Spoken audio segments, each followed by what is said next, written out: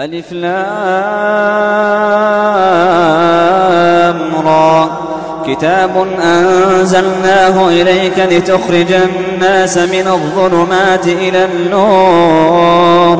إلى النور بإذن ربهم إلى صراط العزيز الحميد. بسم الله الرحمن الرحيم. والحمد لله رب العالمين.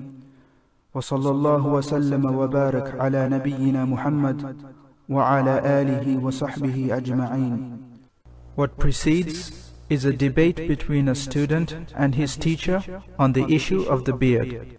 For the Imam of our time, the Mujaddid of our era, the Muhaddith of the Muslimin, Muhammad Nasiruddin al-Albani, rahimahullah rahmatun wasi'ah. This translation was prepared for you by Atasfiya wa Tarbiya Publications, twtpubs.com, translated by Abu Hamza. بسم الله الرحمن الرحيم يسر تسجيلات الهدى الإسلامية أن تقدم لكم نقاشا علمي بين تلميذ وأستاذه سجلت عبر الهاتف مع الشيخ العلامة محمد ناصر الدين الألباني حفظه الله ونفع بعلمه الجميع والشيخ أبو إسحاق الحويني Bismillah ar-Rahman ar-Rahim. We are about to present to you a debate between a teacher and his student. The teacher being the scholar Muhammad Nasiruddin al-Albani rahimahullah and the student being Abu Ishaq al-Huwaini hafidhahullah and it is a debate that took place over the telephone حول وجوب الأخذ من اللحية مما دون القبضة Concer- the issue is concerning taking from the beard that surpasses one fistful ونورد لكم في مقدمة الشريط تسجيلا لفتوى الشيخ الألباني فلنستمع إليه وهو يسأل فيقول And we will present to you the introduction of this tape, the fatwa of a Shaykh al-Albani rahimahullah when he was asked about taking from the beard. So he said, من المعلوم ان حديث اللحيه يرويها عبد الله بن عمر اكثرها يرويها عبد الله بن عمر عن رسول الله صلى الله عليه وسلم the questioner is asking the Shaykh rahimahullah concerning taking from the beard. The ahadith that, has co- that have come in this subject of taking from the beard and he goes on to say has been narrated from Abdullah ibn Umar والمروي عن عبد الله بن عمر رضي الله عنهما أنه لما احتج لما حج واعتمر أخذ بلحيته وقص دون القبضة. What is narrated from Ibn Umar radiyallahu anhu is that when he went for Umrah or Hajj, he took from his beard whatever was more than one handful.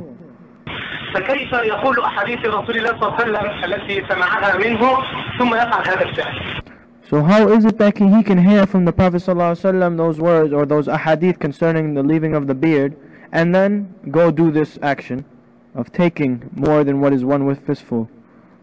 فجزاك الله خير Allah bless you. أنا أعتقد أن سؤالك خطأ The Shaykh rahimahullah says, I believe your question is wrong.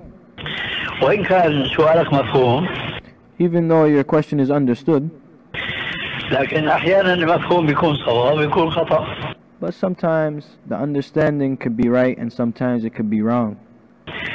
لا فرق بين مقول وبين مسموع There is no distinguishing between that which is said and that which is heard. هل كل قول بيقوله القائل بيكون صواب؟ Is every statement that the person makes correct? لا قد يكون صوابا قد يكون خطأ No. Some statements could be correct, some statements could be wrong.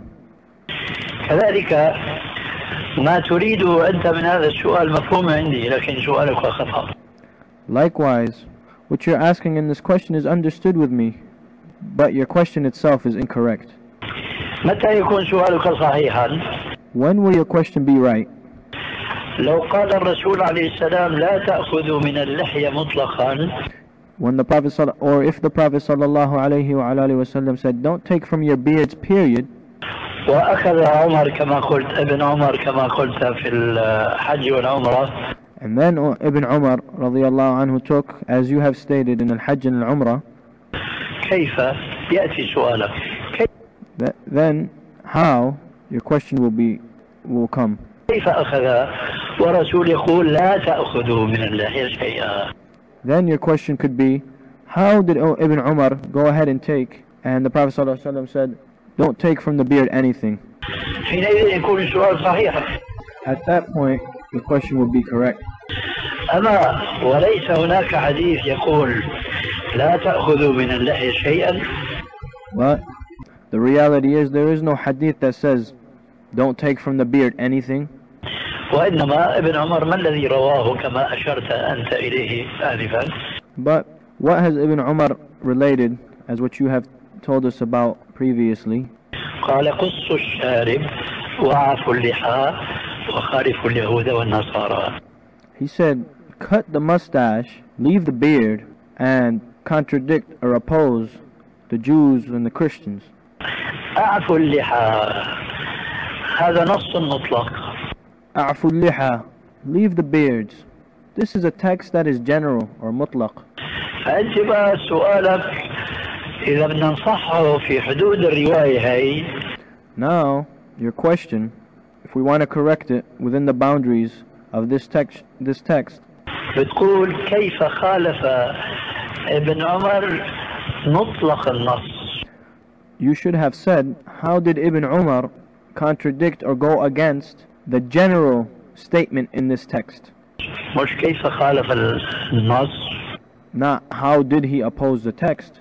لا في فرق بين ما لو كان الحديث هنا بقى يدخل So, no, there, because there's a difference of how the hadith is narrated, and here something is entered in, or here there's a point.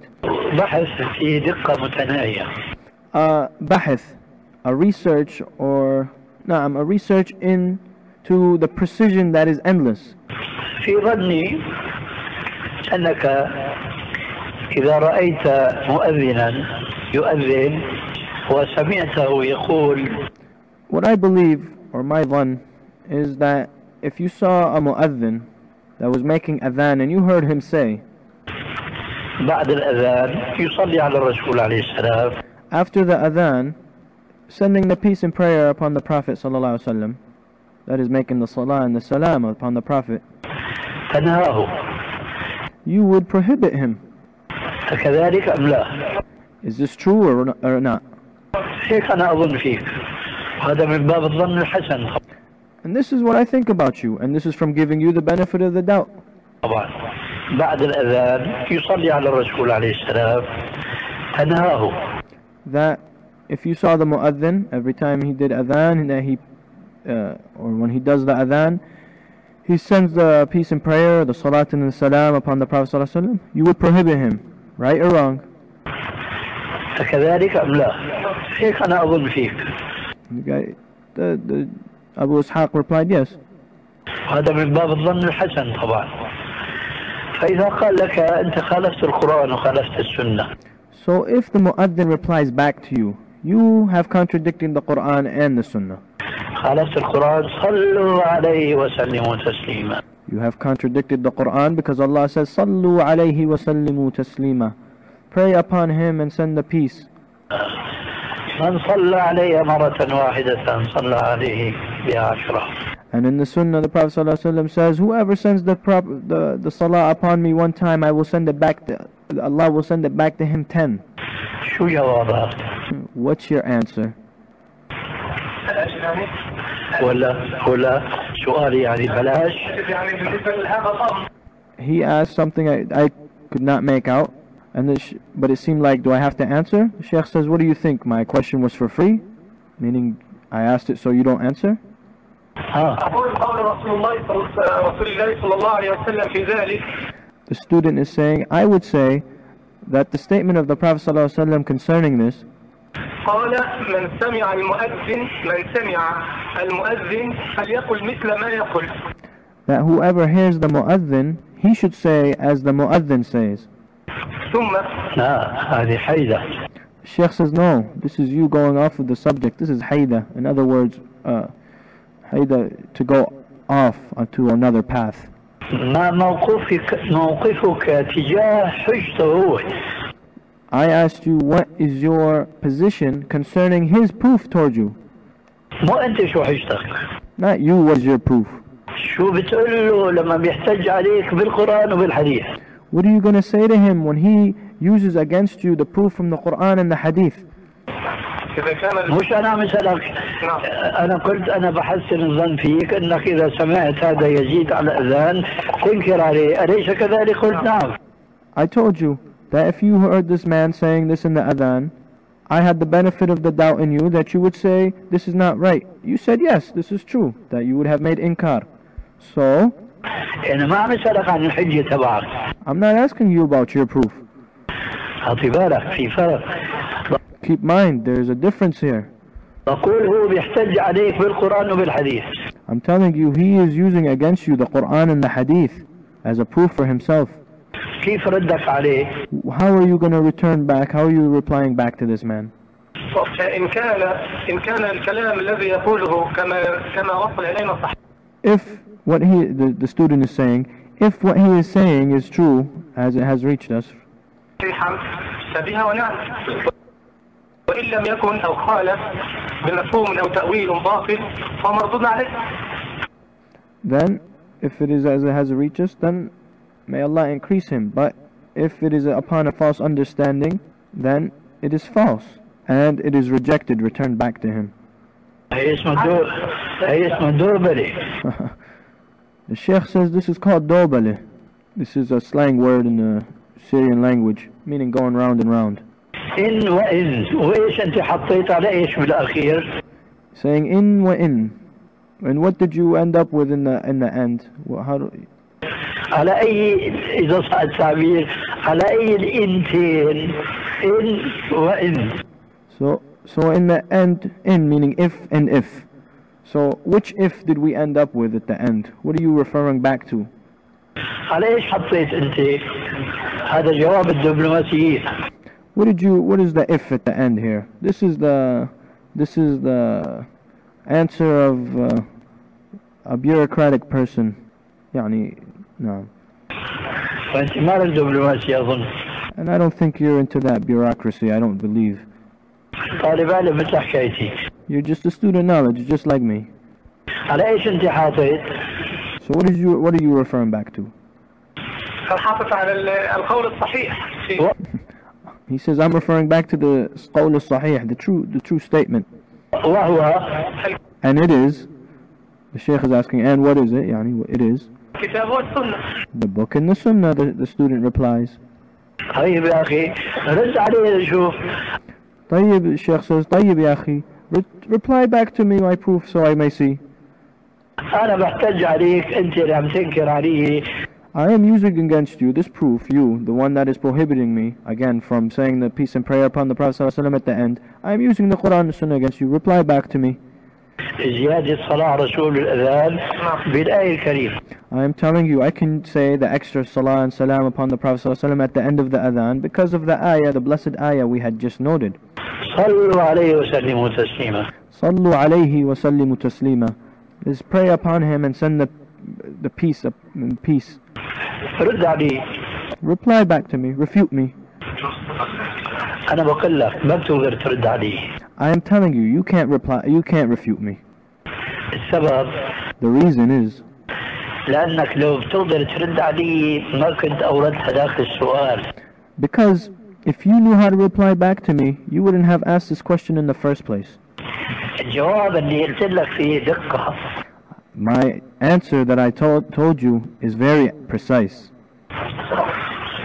وعليكم السلام ورحمة الله وبركاته النصوص الشرعية The textual proofs of Islam عند علماء الفقه with the scholars of fiqh, jurisprudence, علماء الأصول and the scholars of al-usul, the fundamentals, فيها عام وخاص in it is that which is am, general, khas, specific, ومطلق ومقيد and mutlaq meaning another type of general, and muqayyad another, uh, basically general and specific again.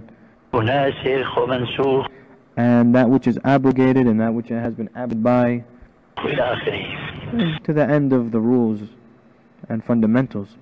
طيب So, الله قال والسارق والسارقة فاقطعوا أيديهما Allah says, and the thief from the man and the, wo- and the, the male or the female, cut off their hand. لو واحد سرق تمرة So if a person comes and steals a tamra, a small date, اسمه سارق ولا لا؟ is he considered to be a, a thief or no? نعم اسمه سارق The student says نعم. Sheikh says yes, he's considered to be a thief. تقطع يده جواب لا Will his hand be cut off? Answer is no. انا راح راح القنك بقى تلقين So here I'm gonna يعني give it to you spoon by spoon, basically, or and he, no, step by step. So that we won't waste our time. The answer is no. Why? Allah says the sariq, but you know the thief, and not not linguistically, not by the linguistic definition of it. لا ما تقطع يده No, it is not. His hand will not be cut off. ليه؟ Why? لأن الرسول قال لا قطع إلا في ربع دينار فصاعدا Because the Prophet ﷺ said there is no cutting off, meaning of the hand, except with the quarter of a dinar and more than that. إذا والسارق في الآية من حيث اللغة So, the thief in the ayah, from the linguistic meaning, for the linguistic side, مش على الإطلاق is not to be taken generally. عرفت كيف؟ You understand how now? هي حطها ببالك Now keep this in mind. مشان نرجع لحديث ابن عمر So we can return back to the hadith of Ibn Umar. أعفوا اللحى مش أعفوا اللحى, leave the beards, على الإطلاق is not just a general statement, ومن هنا جاءك الإشكال or is not taken just generally like that. أنت وغيرك ومن هنا جاءك الإشكال أنت وغيرك So, leaving off the beard is not a is not to take be, be taken generally. And from here, this is where it has confused you and other than you. كمان تمام الآية فاقطعوا أيديهما Likewise, the completion of this ayah, so cut off their hands, meaning the thieves. اليد في اللغة هذه كلها بما فيه So the hand in the language is this whole thing with whatever it encompasses. The Sheikh is directing us to the fingers, the palm, all the way to the wrist. He says the kaf, the palm, the dira the, the, the arm, and the wrist.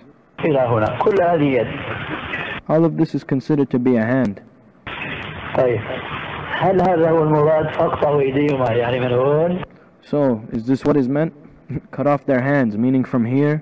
And the Sheikh is, uh, جواب لا so the Sheikh is, because we don't see him, most likely, dir- يعني show, putting, directing the person from maybe from the elbow or somewhere where we're not considering it to be.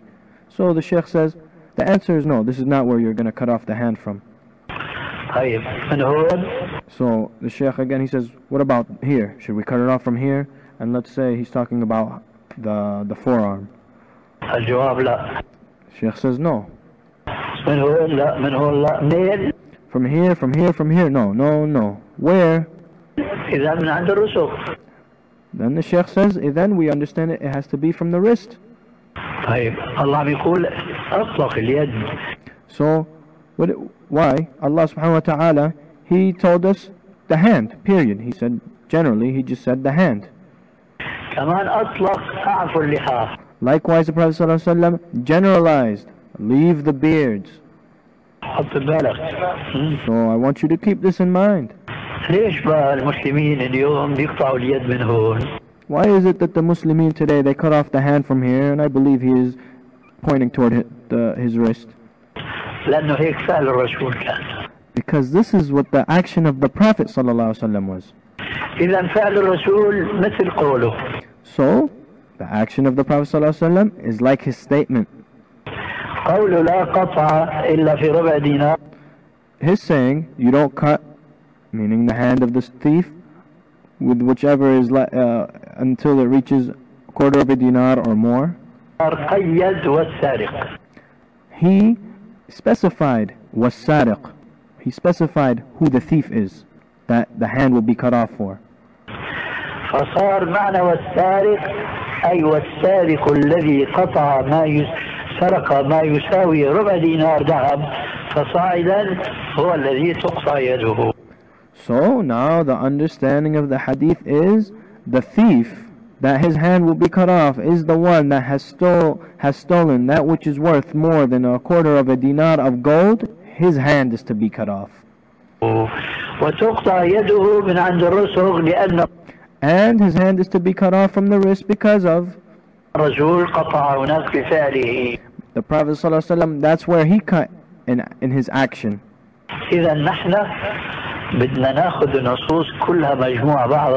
So what we want to do we want to take all the nusus we want to take all the texts all together بعض and combine them together لذلك قال العلماء therefore the ulama have stated بيان الرسول في لقول في كما إشارة إليه في قوله تعالى the clarification of the Prophet ﷺ statement and as Allah subhanahu wa ta'ala has said آه، وأنزلنا إليك الذكر لتبين للناس ما نزل إليهم and we have repe- revealed upon you the remembrance so that you may clarify for the people that which has been revealed down to them بيانه ينقسم إلى ست أقسام its clarification is split into three categories قول وفعل وتقرير saying action and acceptance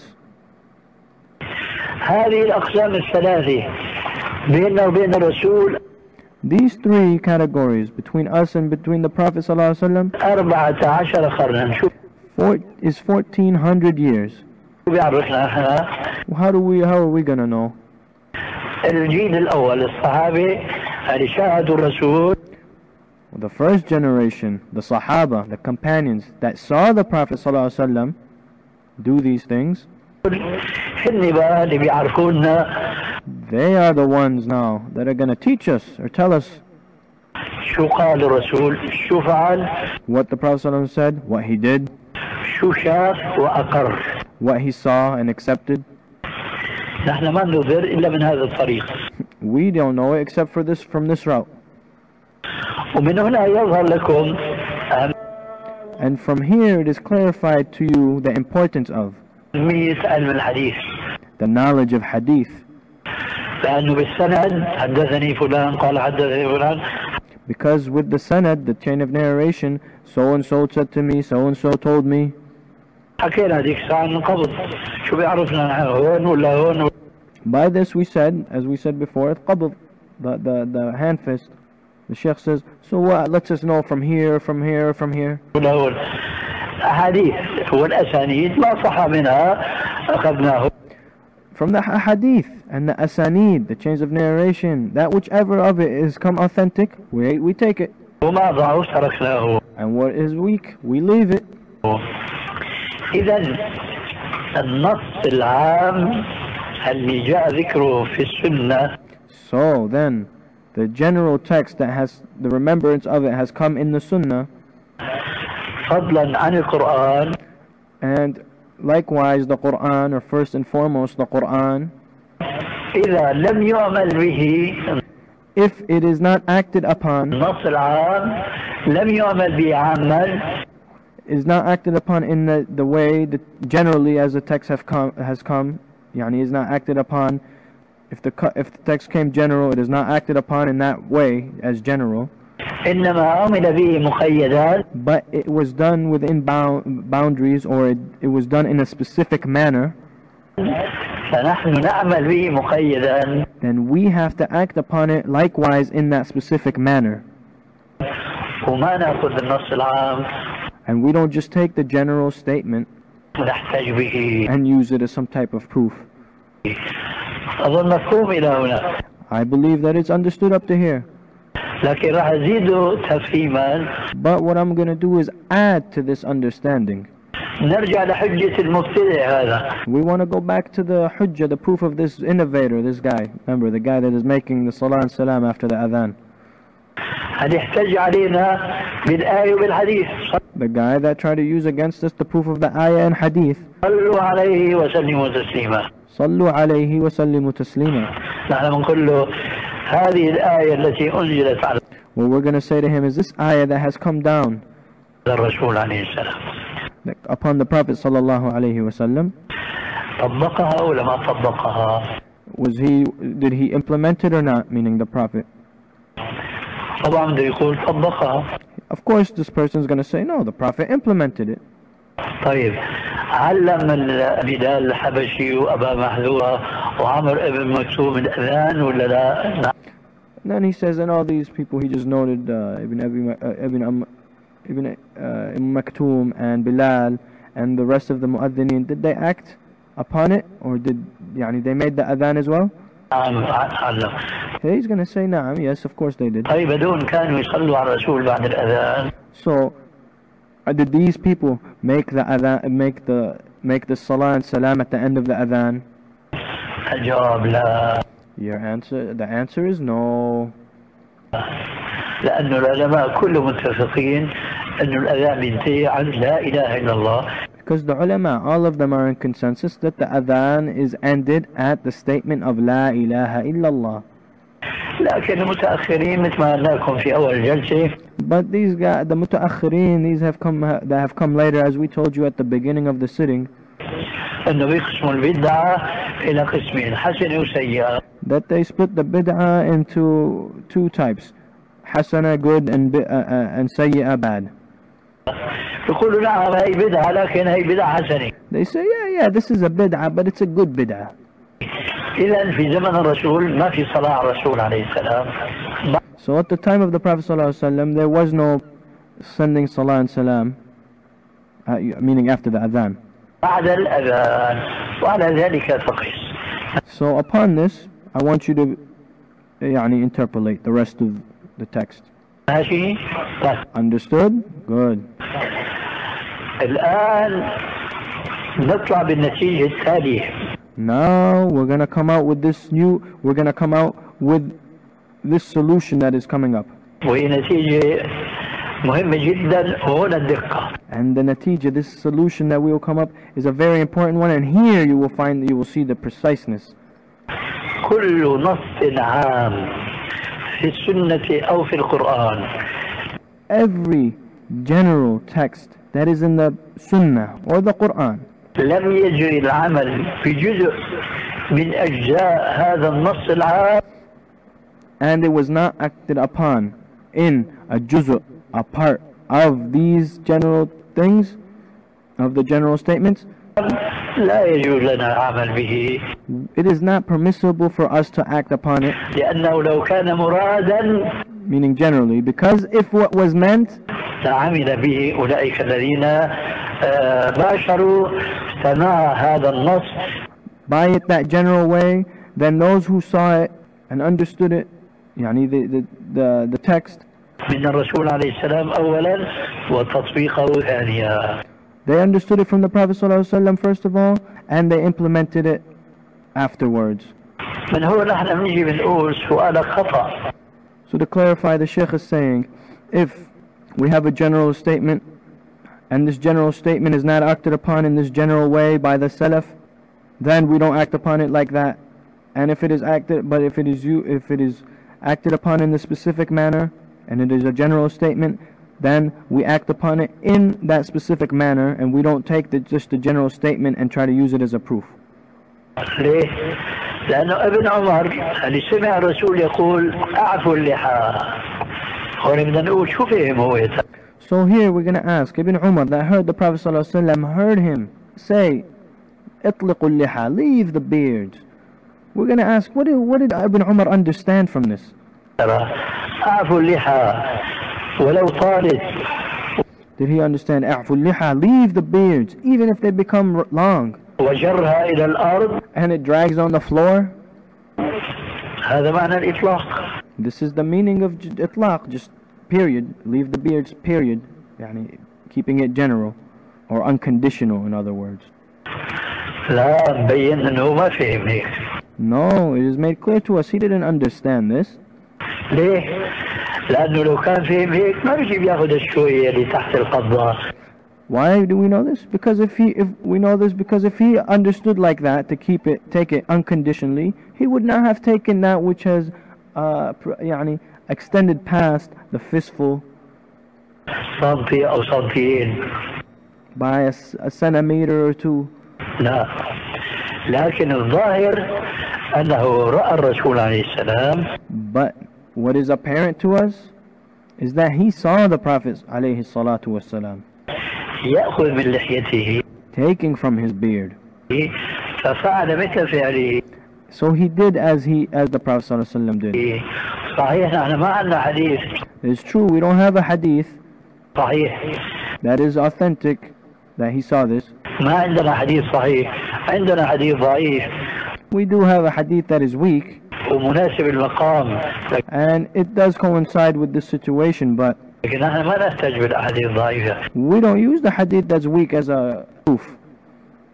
كنت خرجته قديما في سلسلة الأحاديث الضعيفة I had uh, previously made the takhrij of it in the silsila of the al-dha'ifa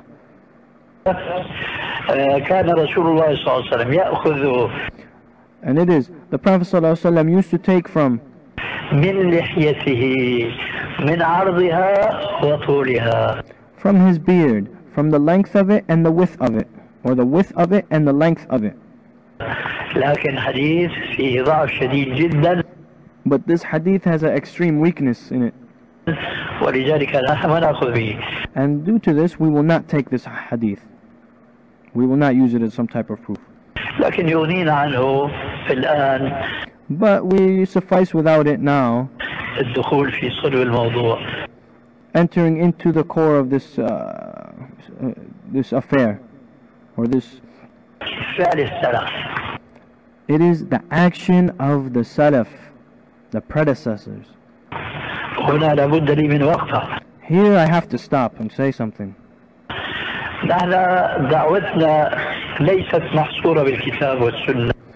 Our calling is not binded by just the book and the sunnah.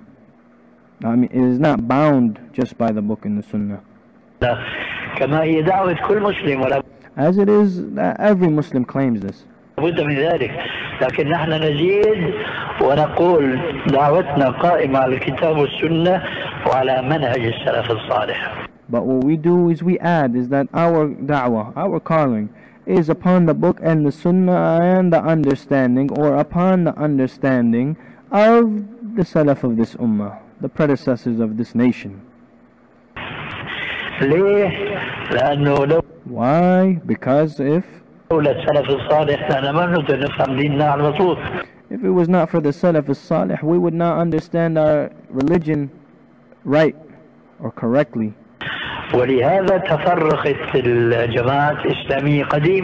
And due to this, this the Jama'at al-Islamiyya, the Islamic sects have split up in the old يعني in the times of before, وحديثا and in our times, شيعا وأحزابا كل حزب مما لديهم فرحون كما into sects and parties and every Shia, every sect with which with that which is with them, they are happy. قال الله في القرآن الكريم As Allah Azza wa Jal said in the honor, honored Quran. أقول قلت لهذا ايش لهذا؟ لأنهم لم يعتمدوا على ما كان عليه السلف الصالح I said this. Why? Because they did not rely upon the understanding of the Salaf as-Salih. وأخذوا يفسرون النصوص بأهوائهم And they took upon understanding or making explanation of the text upon their own desires. فاضطربوا أشد الاضطراب So they had differed in the worst, uh, يعني, a very bad differing between each other. وتفرقوا كما قلنا شيعا وأحزابا And they split into sects and parties. أما نحن فنحن نقول نحن سلفيون As for us, we say we are Salafiyun. بنشوف السلف الصالح We see what the Salaf as-Salih had. كيف فهم سنة الرسول بأقسامها الثلاثة How did they understand the Sunnah of the Prophet ﷺ with its with its three ca- three categories? Remember, those are the statement, the action, and the acceptance. القولية والفعلية والتقريرية نمشي على ذلك So we walk upon it. وهل نحن في هذا القيد نعمل بالشرع And with this qaid, this condition we have put down, are we acting upon a shara, the law? ك- نقول كيف لا We say, how, how is it that we're not? قال تعالى When Allah Ta'ala, Most High said, ومن يشاقق الرسول من بعد ما تبين له الهدى And whosoever contends with the messenger after clear guidance has been shown to him, ويتبع غير سبيل المؤمنين and follows a path or treads upon a path other than the way of the mu'mineen, نولي ما تولى ونصلي جهنم وساءت مصيرا we will leave him to that path he has chosen, and we will enter him into Jahannam, and that is the worst of abode. إذا مخالفة سبيل المؤمنين Then, therefore, it is shown to us contradicting the way or the sabil of the mu'mineen كمخالفة سنة الرسول عليه السلام is like that of contending or contradicting and opposing the sunnah of the Prophet alayhi salatu wassalam. لأن المقصود بهم هم الذين باشروا رؤية الرسول Because what is meant by them, they are the ones that saw the, act, the statement and action of the Prophet ﷺ, ونقل سنة الرسول إلينا and they passed on the sunnah of the Prophet ﷺ to us, هم أصحابه عليه السلام and they are his companions alayhi salatu wassalam. ثم الذين يلونهم ثم الذين يلونهم Then those that have come after them, then those that have come after them, كما هو في الحديث الصحيح as it has been narrated to us in the authentic hadith.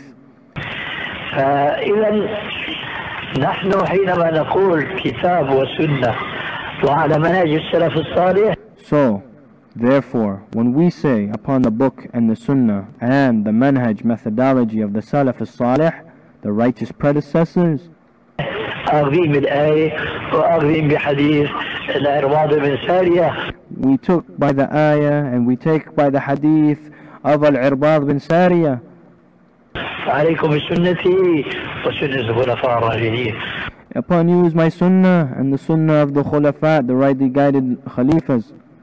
وآخذين بحديث أنس بن مالك And we took the hadith of Anas ibn Malik ومعاوية وغيره and Muawiyah ibn Abi- وستختلف أمتي and my ummah will differ على 73 فرقة upon 37, 73 sects.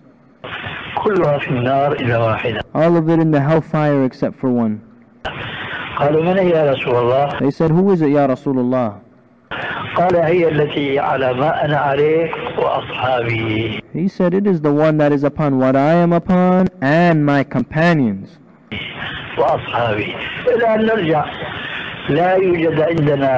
Now let's go back.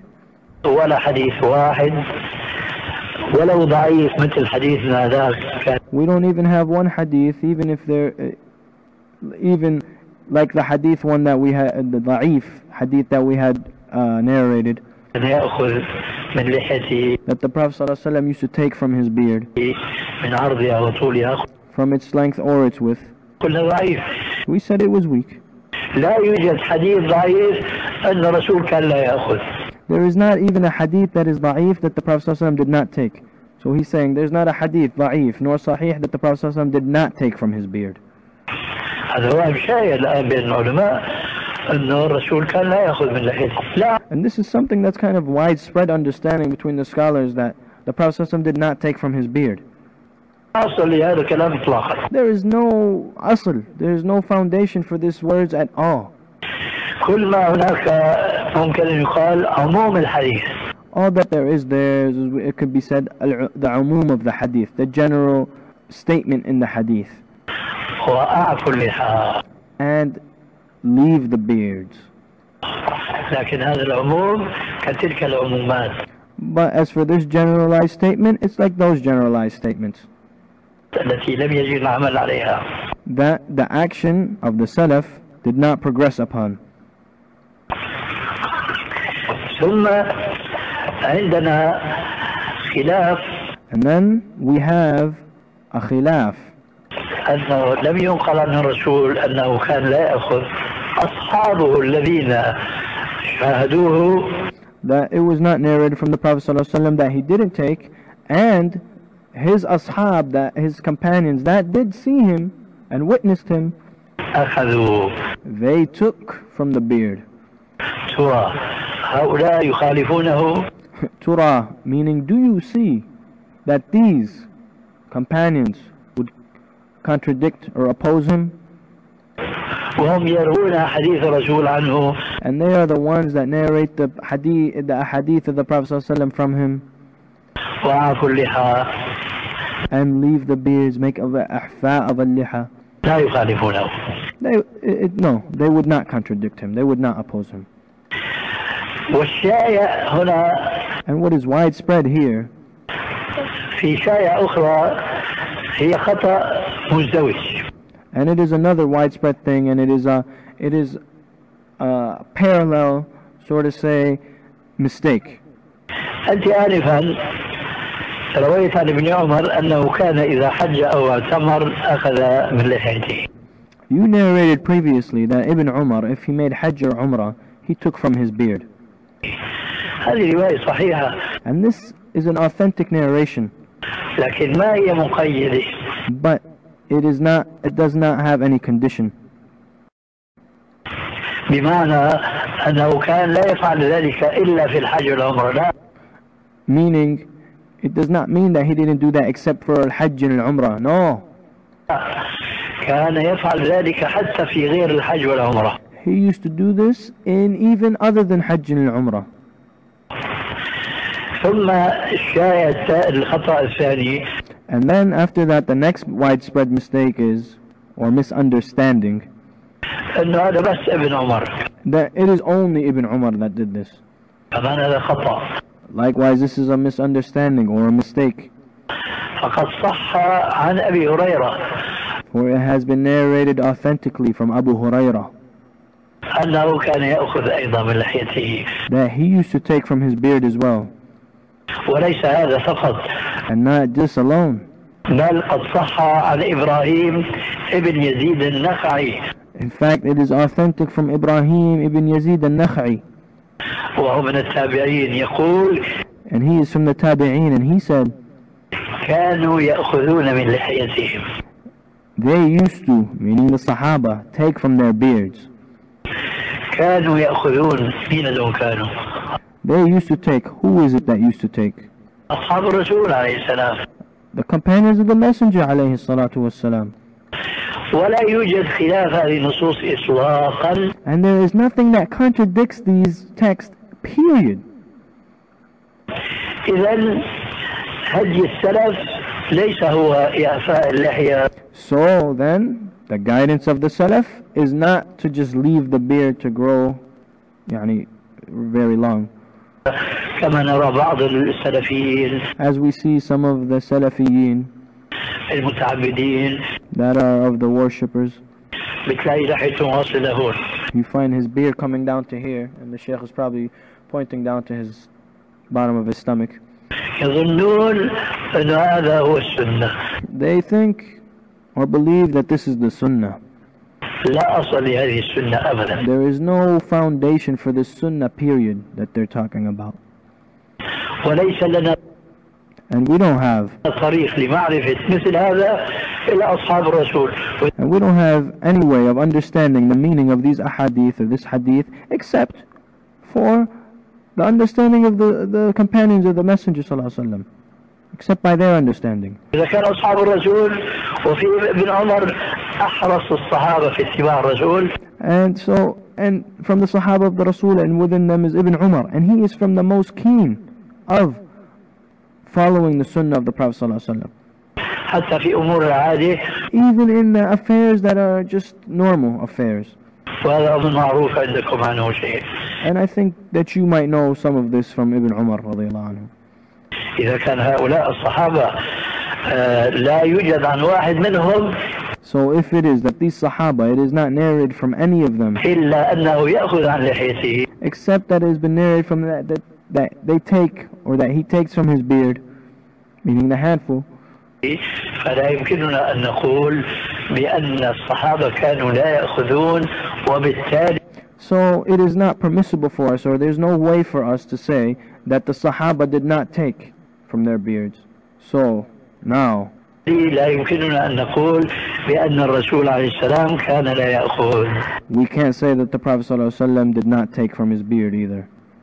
فكثير من المسلمين أو أكثر المسلمين اليوم So many of the Muslimin, or most of the Muslimin today, لا يرتاحون متأثرين بالثقافة الغربية they don't even have beards because they have been affected by the thaqafa, the so-called ideology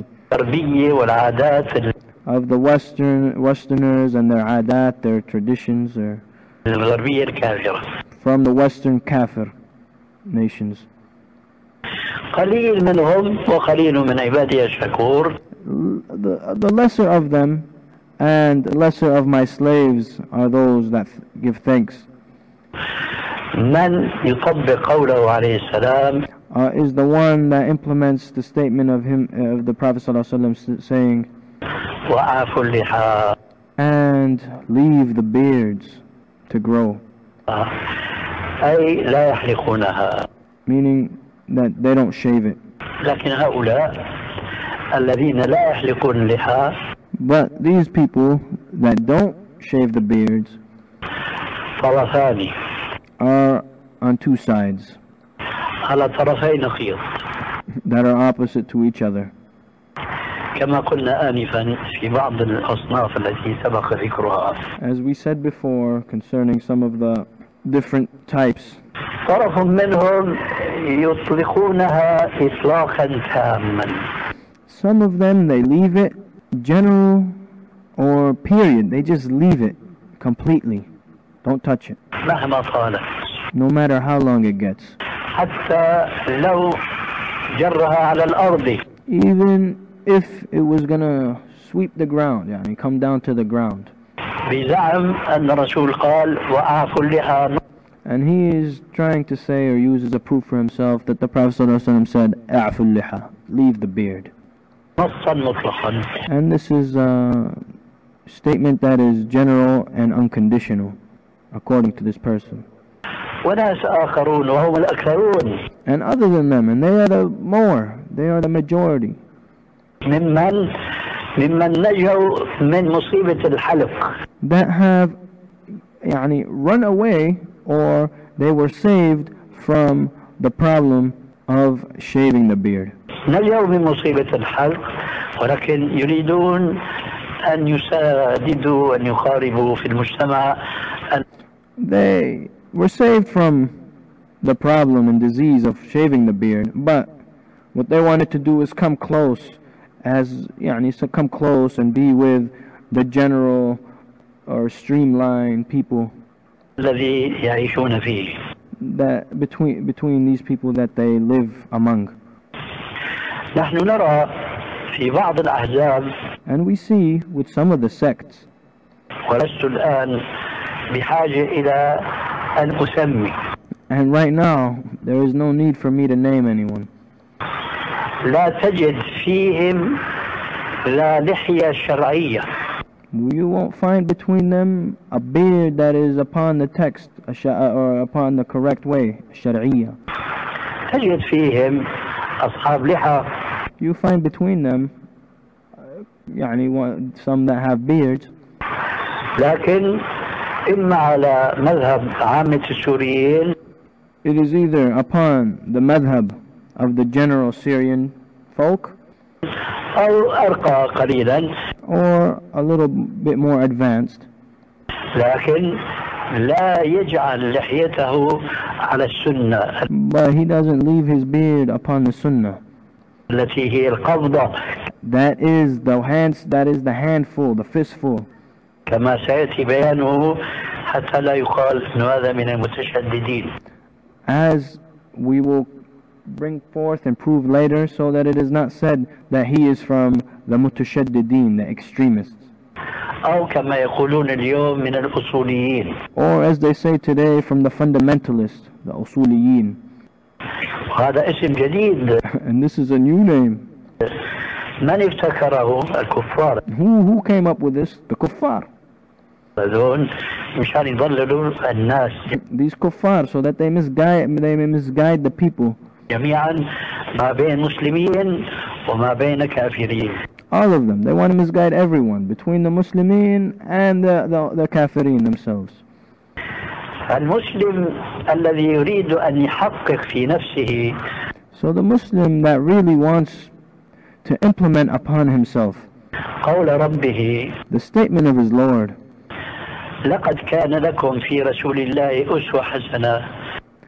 Verily there was for you in the, a great model or a good model to be followed.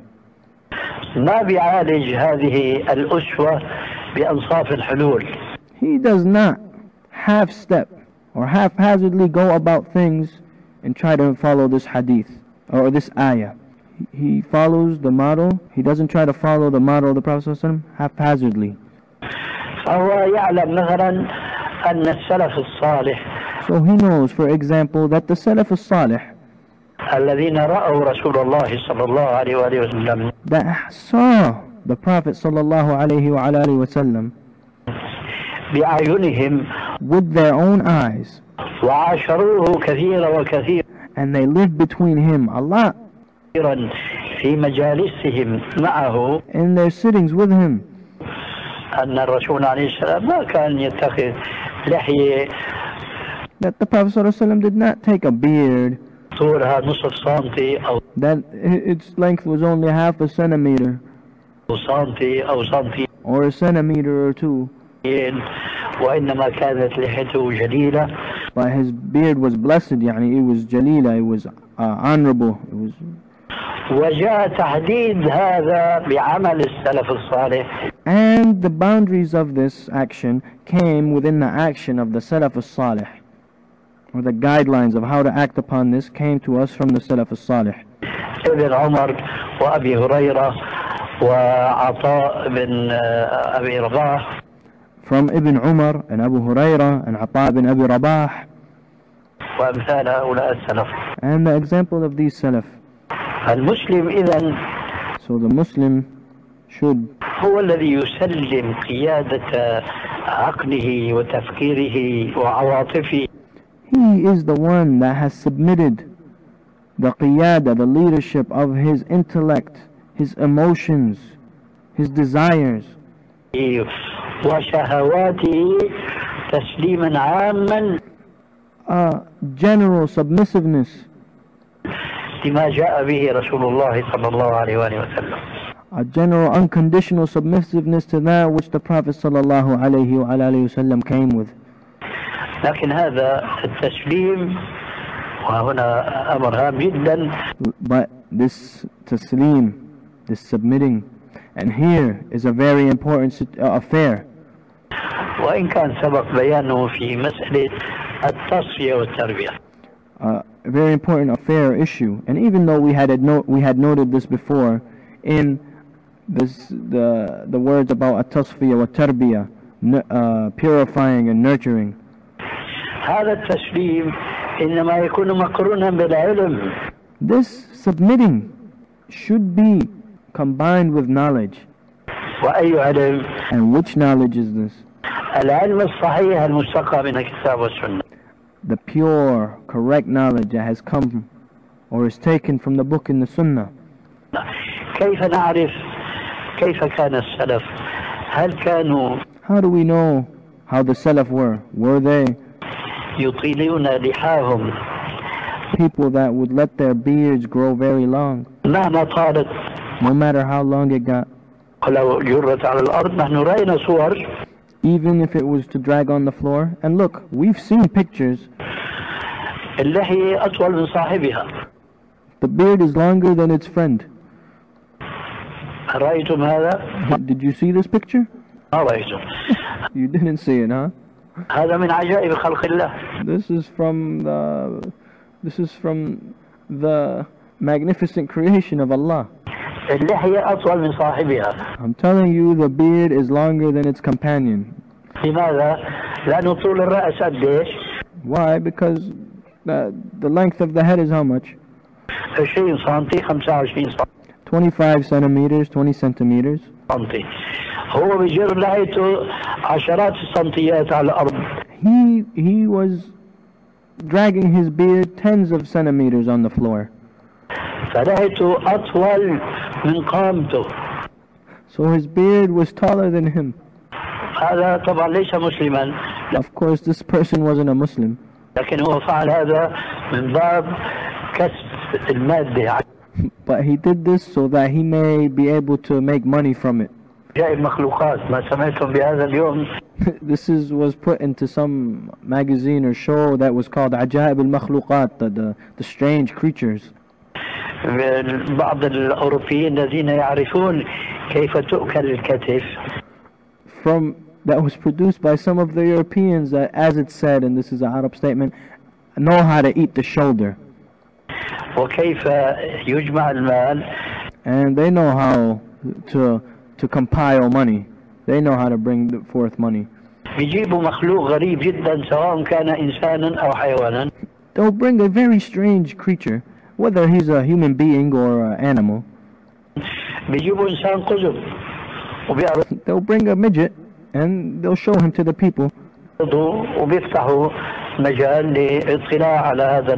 They put him maybe in a cage and then they'll open up the way for the people to come and see this creation of Allah.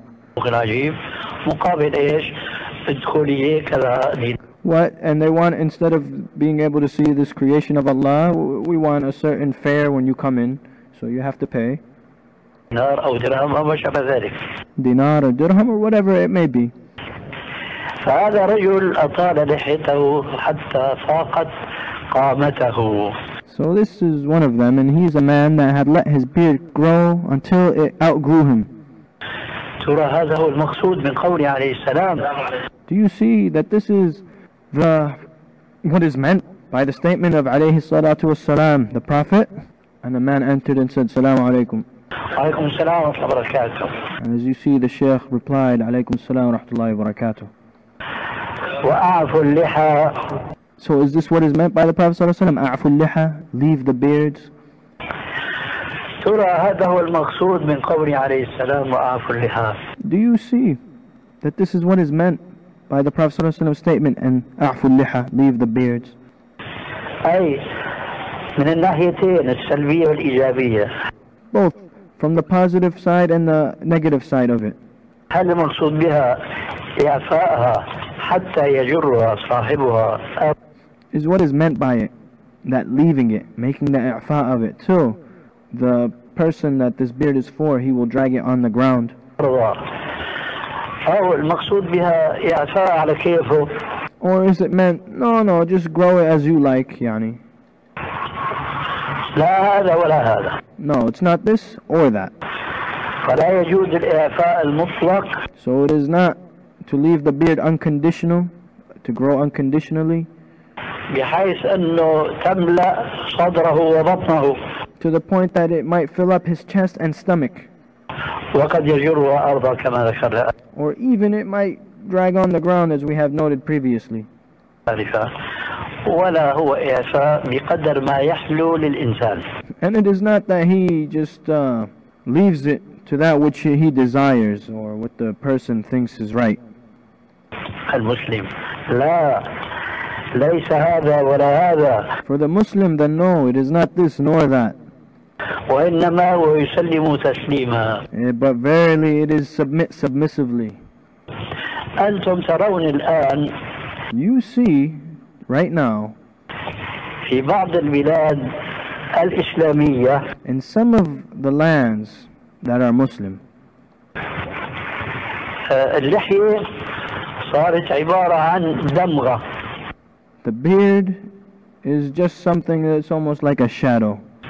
دمغة في أسفل الذقن Or excuse me, like uh, a little spot or blotch of hair on the bottom of the, the face, chin.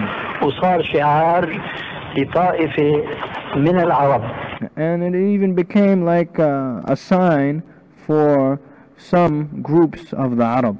أو لشعب من الشعوب العربية Or from a, يعني, from a nation from the nations of the Arab. And the people of the people of the Arab. It became like a sign for them, this having a, and he's describing the goatee, or just leaving the bottom under the chin there, that little piece of hair. هذه مو لحية يا جماعة This is not a lihya, ya jama'ah. كل محلوقة هكذا وما بقي إلا دمغة سوداء ها هنا This guy, he went and shaved all of it, and there's nothing left but this little black spot over here, like a little spot. هذا ليس هو المقصود بإعفاء اللحية This is not what is meant by إعفاء اللحية, leave the beard. ثم صور ما شئت طلعت لفوق فوق إلى آخره And then there's many ways you can picture. One guy let it go all the way up and, you know, different different ways. صار المقياس نص سنتي أو سنتي So their boundaries are maybe a centimeter or two, يعني to let it grow that much. المهم لا ينبغي للمسلم أن يتبع هواه What is important here is not it is it is not befitting of the Muslim that he just follows his desires. It's not permissible to do like that. وإنما يستسلم لرسول الله صلى الله عليه وسلم But what he does is submit to the orders of the Prophet sallallahu alaihi wasallam. إذا من الضروري أن نعرف So what it is, uh, it is binding. It is oblig- uh, It's it's an obligation upon us to know كيف كانت لحية رسول الله صلى الله عليه وسلم how was the beard of the Prophet sallallahu alaihi wasallam. هل كان يعفيها حفا مطلقا Did he leave it and uncon- Did he make the i'fa of it? Just leave it unconditionally, أم كان يأخذ منها لا, or did he used to take from it? لا ندري We don't إذا know. وقفنا عند رسول الله صلى الله عليه وسلم If we stop at the Prophet sallallahu alaihi wasallam وما اتخذنا الوسائط الذين رأوا رسول الله and we did not take those intermediaries that saw the Prophet sallallahu alaihi wasallam سبيلا لمعرفة ما كان عليه رسول الله as a means to know what the Prophet sallallahu alaihi wasallam was upon, لا ندري كان يأخذ أو لا يأخذ then we would we don't know. We wouldn't be able to figure it out if he took or didn't take. لكن هل هذا الموقف السلبي هو الذي ينبغي أن يقفه المسلم ليعرف هذه الحقيقة But is taking this position that is negative the way to know how the Prophet ﷺ or the reality of what- of what the Prophet ﷺ did? أن يستعين بمعرفتها بمن كان يحيا مع رسول الله صلى الله عليه وسلم Or is that he uh, he seeks help in understanding this from those that used to live with the Prophet ﷺ دهرا طويلا a long dahr, a long time? هذا هو السبيل This is the way, this is the sabil. الآن جاء السؤال وقد عرف So now the question came, and it is known من طرحه أن ابن عمر كان يأخذ من لحيته from the question itself that Ibn Umar, he used to take from his beard. إذا ابن عمر يأخذ من لحيته مطلقا So, did Ibn Umar take it from his beard mutlaqan, unconditionally? الجواب لا N- The answer is no. كان يأخذ ما دون القبضة He would take whatever passed the handspan or the fistful. ما طال عن القبضة قصها Whatever يعني surpassed this fistful, al-qabla, he cut it.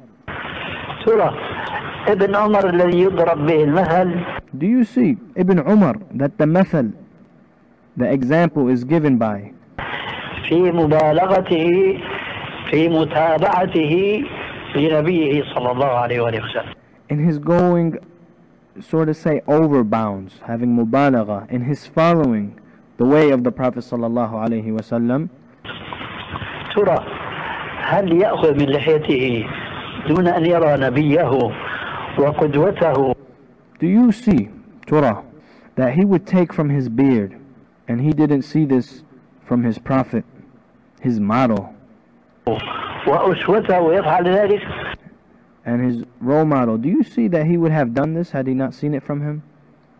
هذا لا يمكن يمكن This is, this is, you can't understand this. It's impossible.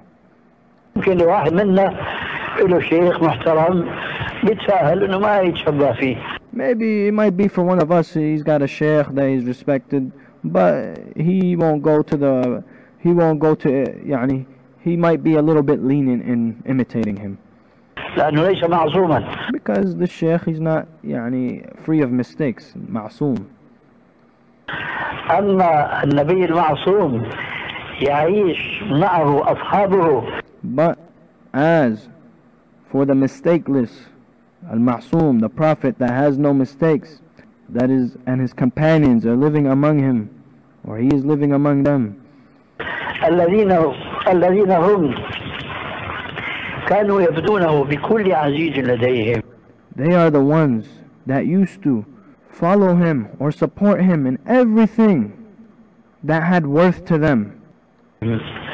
وبخاصة ابن عمر هذا And in specific, this one, Ibn Umar, الذي جاءت عنه رواية عجيبة that it has come from him a very strange narration. تارة يرى قميصه في الشتاء البارد مفكوك الأزرار Sometimes it's seen that his shirt, his qamis, in the time that it was cold, was unbuttoned. لماذا أنت يا ابن عمر هكذا؟ They was asked to him, Yeah, Ibn Umar, why are you like this? Yani the shirt unbuttoned and it's freezing out. رأيت رسول الله هكذا He said, I saw the Prophet sallallahu alaihi wasallam like this. يأتي إلى شجرة فيصب فيها الماء he comes to a tree and he pours upon it water. Why? Why do you do this? I saw the Prophet ﷺ do this. So I saw the Prophet ﷺ pour water on this tree. He takes his camel and he goes around a certain place. لماذا؟ قال رأيت رسول الله صلى الله عليه وسلم سبحان It's asked to him, Why do you do this, Ya Ibn Umar? I saw the Prophet sallallahu alaihi wasallam going around this place. That was his answer. Subhanallah, glorified be Allah. الله هذه أعمال تدخل في قسم العادات These are actions that are just normal actions that enter into the qism, the, the, the category of what is called al-adat, normal or just some normal traditional actions. لما درسنا هناك على السطح هذه ما لها علاقة بالعبادة لكن لغلبة These are things that have nothing to do with worship, but because of the overwhelming حبه للرسول صلى الله عليه وسلم love for the, the love he had for the Prophet sallallahu alaihi wasallam, صار يتابعه حتى في الأمور العادات he started to follow him even in these natural things. كذلك مثلا أنس بن مالك Likewise, for instance, Anas ibn Malik. يقول دعي رسول الله صلى الله عليه وسلم على طعام He said the Prophet ﷺ was called for some food, invited for food, من دباء تعرفون الدباء from a place called Dubba. He asked, Do you know this? The Sheikh is asking. ها قال قرأ The students answer Al Qara. كويس He said, Yeah, that's true. قال فرأيت رسول الله صلى الله عليه وسلم يتتبع الدباء He said, I saw the Prophet ﷺ following this Dubba. Yeah, I think this is pumpkin, Wallahu A'lam. But it's a sort of food. يعني هذا الطبيخ فيه دباء وفيه لحم مثلا فيه ربما خضرة أخرى مش So th- this food in it, for instance, was some meat and other things, but also there was this Dubba in it. مذكور لكن قولوا رأيته يتتبع الدباء But Anas' statement, radiallahu anhu, I saw him following, yani, fi- picking out these this type of food at Dubbaq, معناه في شيء ثاني meaning there's other things, yani, with the food, whatever it was. قال فلما رأيته يتتبع الدباء أخذت أنا أجمع الدباء وضعه أمام الرسول عليه السلام He said, so when I saw this, I started picking out this food and piling it up in the place of the Prophet sallallahu alaihi wasallam, right next to the Prophet sallallahu alaihi wasallam. وهذا من إكرام هذا الصحابي الجليل لنبيه الكريم This is from the honoring that this Sahabi that is blessed did for his Prophet that is honorable. ماذا قال أنس What did Anas radiallahu anhu say? قال فلم أزل أحب الدباء من يوم رأيت رسول الله صلى الله عليه وسلم يحب الدباء. He said, I started to like this dubba from the day I saw the Prophet صلى الله عليه وسلم like it. إذا كان الصحابة هكذا. Do you see that if the Sahaba were like this? ونجد ابن عمر يأخذ من لحيته ونفترض And we see Ibn Umar taking from his beard, and we will assume that his prophet did not take from his beard. This is impossible. This is just impossible.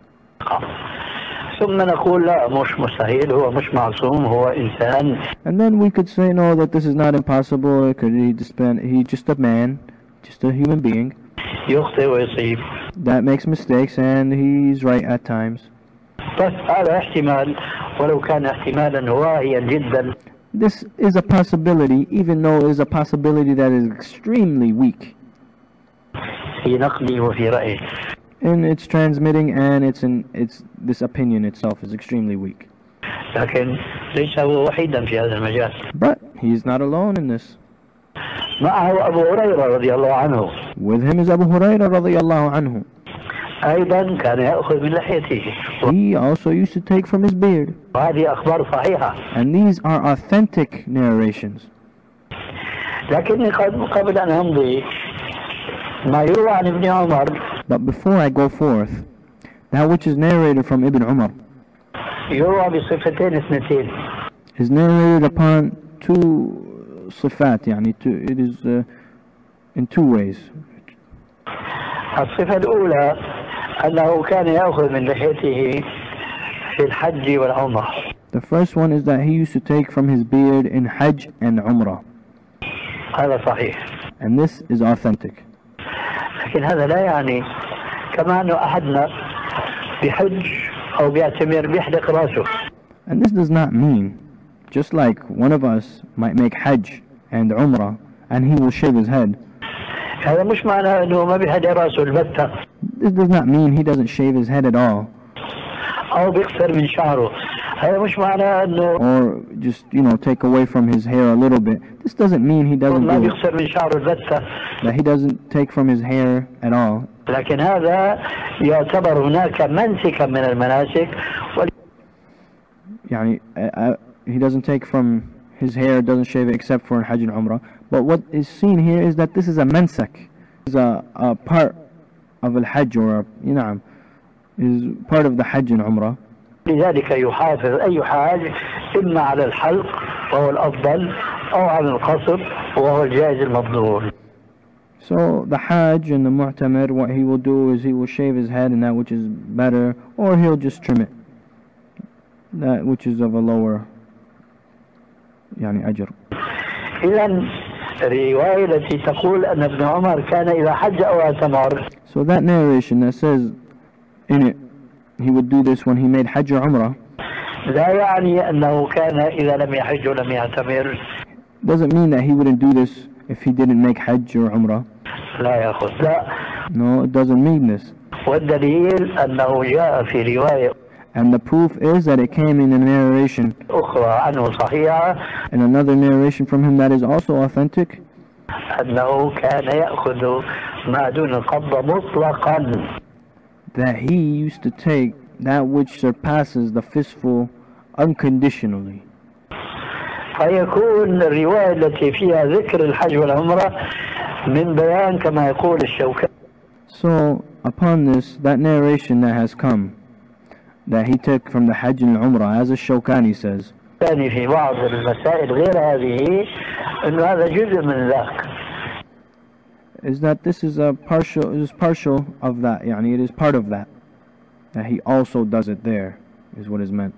لأنه أن يأخذ بمناسبة الحج والعمرة هو جزء من الأخذ كما قلنا نحن من شعرنا So him taking from the beard at the time of Hajj al-Umrah, it's just like you taking from your hair at that time, as we have stated.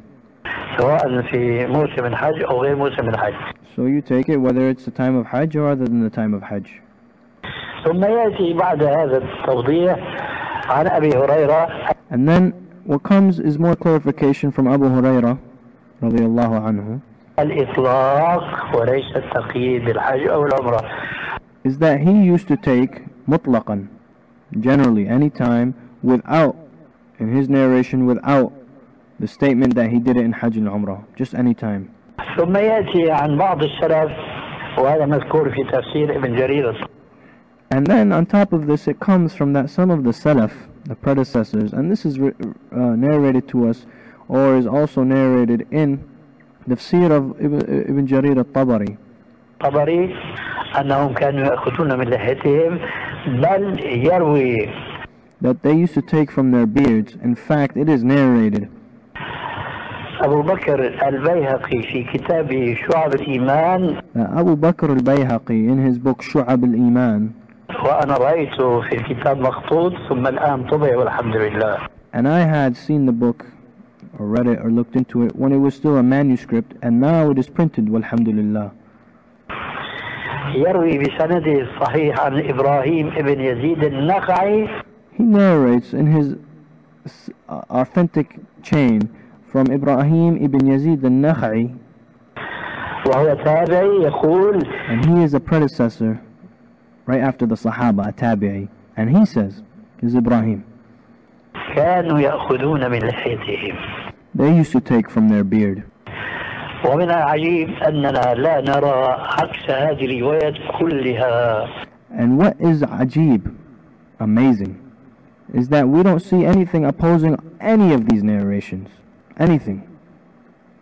عن أحد من الصحابة أنه كان لا يأخذ من لحيته لا نجد From any of the Sahaba that he didn't used to take from his beard. We don't find anything هذا إطلاقا at all. فإذا خير الأمور الوسط وحب التناهي غلط So, the best of affairs is that which in the middle is in the middle, and loving of extremities is a mistake.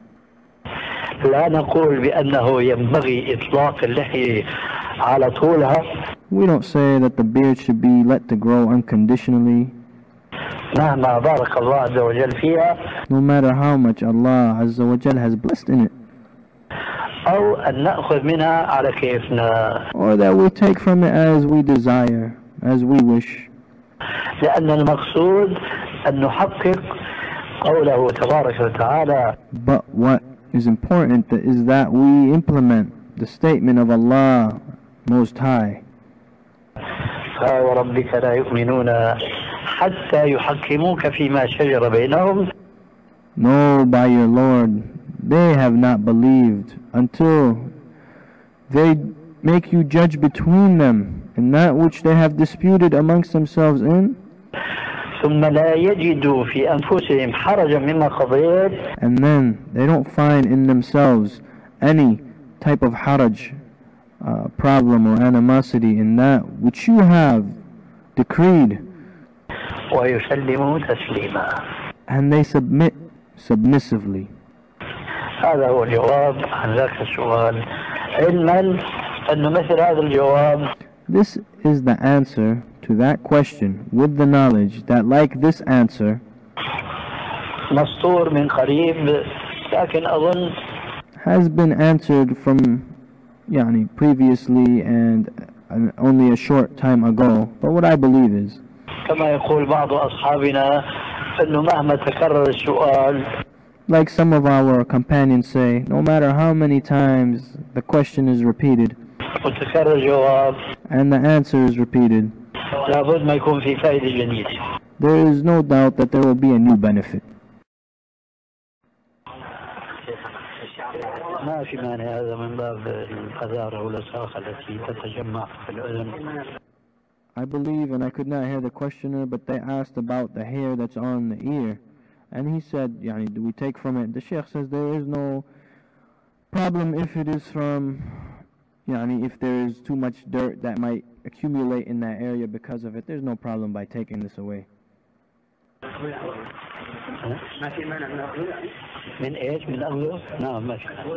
It's repeated, so there's no problem with taking from it.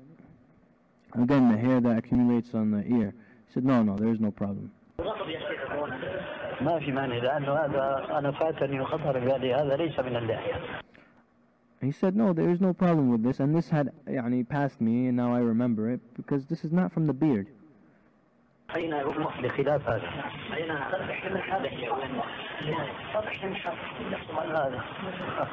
الذقن الذقن شوف They're kind of asking the sheikh here, and it's unclear, what is the beard, where is it? The sheikh is saying al-dhaqan, al-dhaqan. And al-dhaqan known in Arabic is kind of like this uh, side of the face and the chin. عظم العظم The, the, he, sa- he's, he says the bone, the bone, the bone of the face. هذا العظم تحت العظم وين بينتهي العظم هذا هو حدود اللحية He said this bone, I think it's the, he probably pointing or directing toward the bone under the eye to this bone, which is probably near the jaw, jawbone and underneath. He says from this bone to that bone, and to where it ends is a dhaqan, is where the beard needs to be. والآن أيها الإخوة الكرام And that sitting has ended.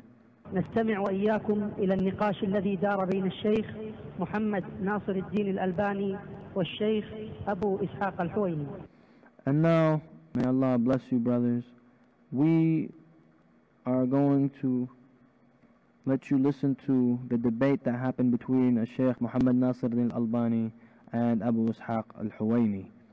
ونذكركم أن صوت الشيخ الألباني منخفض لأسباب خارجة عن إرادتنا And he says, I remind you, this person is saying, we remind you that the Sheikh's voice is low, of course, because he's on telephone, due to s- situations that we we had no control over. طيب شيخنا كان في بالنسبة لفتوى وجوب الأخذ من اللحية التي لكم So Abu Ishaq is asking here, and if I had noted before that Abu Ishaq was the student speaking, then I had made a mistake. Now it is Abu Ishaq. He is saying, Sheikhna, it has been noted from your fatwa that has come to us from taking of the beard. إيه، كان في هناك بعض ال- ال- المشا- المشايخ كان اعترض على الفتوى دي بعدة آه، Some of the mashayikh have uh, يعني, opposed this statement in certain points. آه، يعني آه، اعتراضات فأنا بدي أشوفها نشوف جواب شيخنا عليها يعني I would like to note to you these uh, oppositions that they have and hear what you have to say about them. تفضل إن كان السفير جزاكم The Shaykh, rahimahullah, said, please present it forth that we might benefit from them. الله خيرا أبي- He said, may Allah bless you. The Shaykh replied, wa iyyak. You too, you as well. يقول ان من مذهب الشيخ حفظه الله ان انه آه، قال قبل قبل ذلك في بعض الاشرطه انه لا يتبنى قولا ليس له فيه سلف It is said, they say the Shaykh, rahimahullah, it is from his manhaj, it is wi- his way or madhab, is that he will not take on a saying, saying, meaning Shaykh Nasr, that no one had beat him to from before. The Shaykh says, yes, this is true.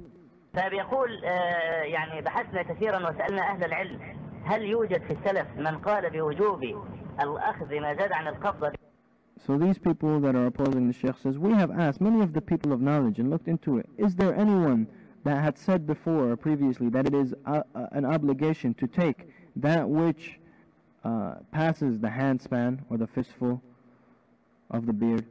بحيث انه اذا لم ياخذ اثم فبي- فقالوا جميعا انه لا يوجد To the point that if he does not take, then he would be sinful. And they, when they asked, said, no one, all of them said, اطلاقا احد قال بهذا no one said this, period. No one ever said this. فقال لو تفضل الشيخ وذكر لنا من يعني سبقه الى ذلك So maybe if the Shaykh would uh, يعني, present to us who had beat him to this statement. أنا أقول بصراحة إذا كان المفروض من السؤال كما هو ظاهر The Shaykh says, I say bluntly or clearly, I'll be frank here. If what is meant by the question, and this is what is apparent, هل هناك نص فالجواب لا is there a text? Then the answer is no. ولكن هذا السائل But this questioner, إذا كان يريد من سؤاله كما هو الموضوع في كل مسلم الوصول إلى معرفة الحق what is in his question, and this is what is binding or an obligation upon every Muslim, is that he finds the truth فأظن أنه إذا سار معي في طريق الحق then I believe that if he walks with me in the path that is true, al-haq, أنه سيصل إلى ما وصلت إليه أنا then he will find and he will end up in the place that I have ended up. So I say now, or I begin with, and I say at the end, and I said before. I ask if I say if this questioner is is in agreement with me. أنه يجوز هذا أول افتراض أنه يجوز الأخذ من اللحية ما دون القبضة is with me that it is permissible, and this is the first assumption, that it is uh, to take from a fistful of the beard. Yani, whatever passes a fistful, then he has to take it. ممكن بعد ذلك نمشي خطوة ثانية Then after this we may take the second step, وثالثة and a third step, وقد تكون هي الأخيرة and it could be the last one. فيا ترى Do you see?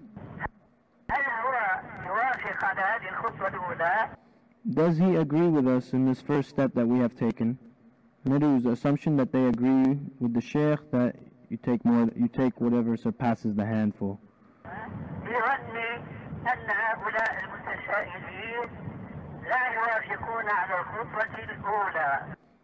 In my one, what I believe or think is that these ones that are questioning, they don't agree with me in that first step.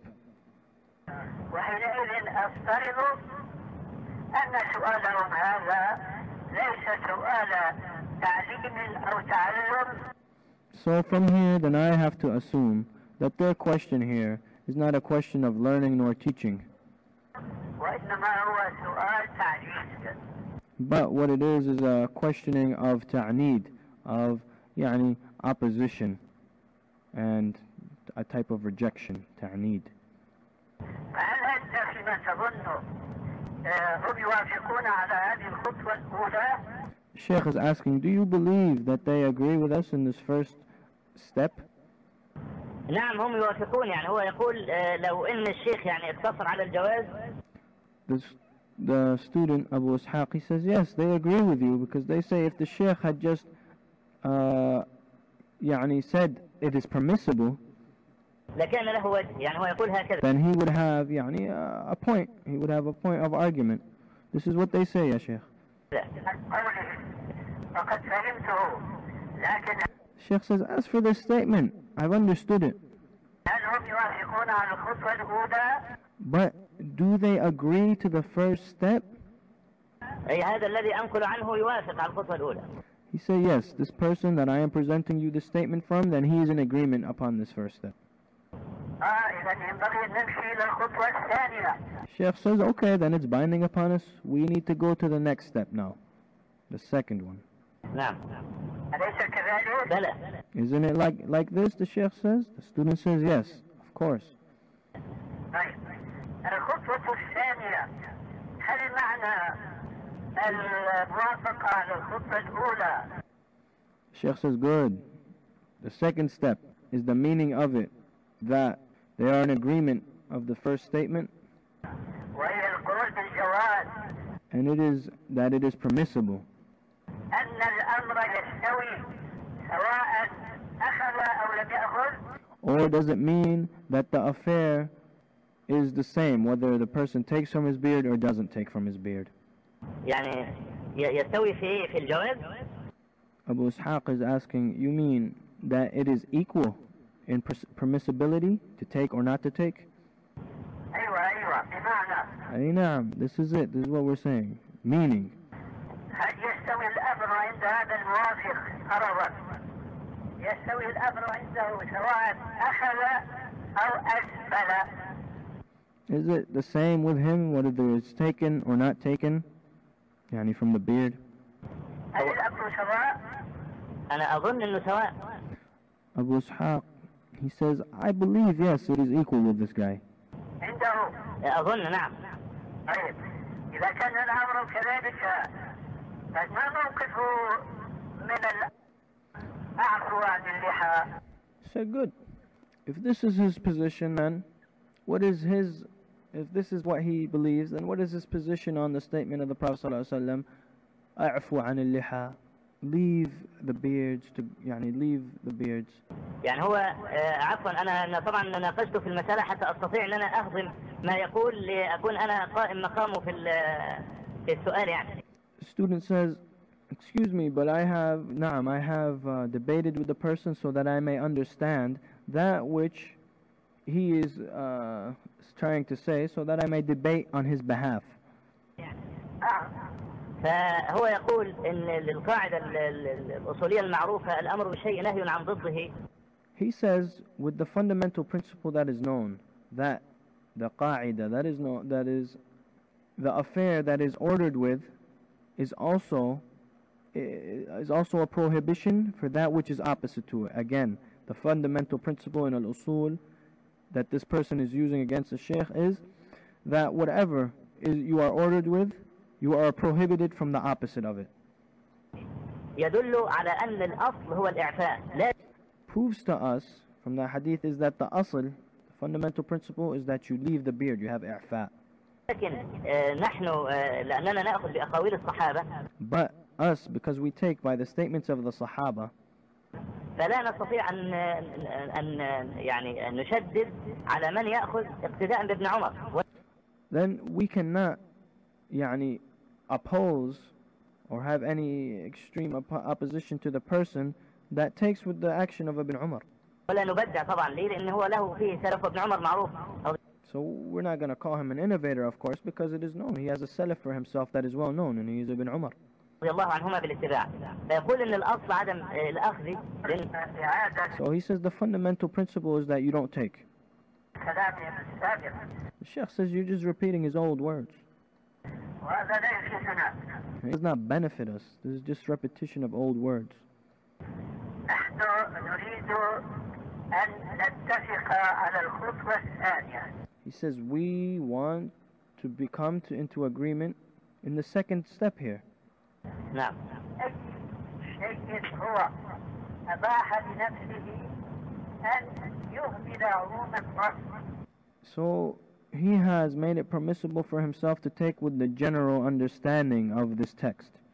وعموم النص لا يجوز مخالفته And the general text, it is not permissible to oppose it عند أحد من أهل العلم with anyone from the people of knowledge, إلا بدليل except for a proof. Except with a proof. And here I say with a text so that we may not bind ourselves to. Because my statement with a dalil, a proof, is more general than my statement, a nas, a text. So the sheikh says, no one will oppose the general proof, and he said he used proof, and not text because proof is more general than text. لعله واضح لديك اي واضح نعم So is this clear to you? Ay na'am, this is clear, ya Sheikh. طيب فبأي دليل هو استجاز آه، عدم الأخذ بعموم النص So with which proof that this person make permissible not taking from the beard by the general text طيب شيخنا ماشي حنفترض ان انا يعني مكان ومسلم نطلع للخطوه الثالثه The student says, okay, Sheikh, we uh, are going to assume that we have agreed upon the second step. And that was what we just noted, that there is no opposing text. طيب الخطوة الثالثة وكما قلت لك ابتداء تكون الأخيرة أو لعلها تكون الأخيرة And he says, and I say the third, and as I said to you before, it might be, it should be the last and might be the last. نسأل هذا السائل We must ask this questioner, ما هو الأفضل الأخذ أم الترك what is better, taking from the beard or leaving it? هو يقول الترك This questioner says, no, to leave it is better. إذا لا يجوز له أن يقول الأخذ Okay, then it is not permissible for him to say that you can take from it. You can't say that you can take from it. It's not. Why, the Sheikh is asking, why can't he say this? Because the fundamental principle is as we are in agreement in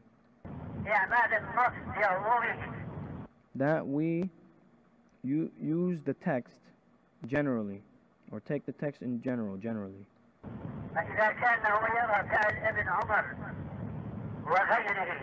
So if he sees that the action of Ibn Umar and other than him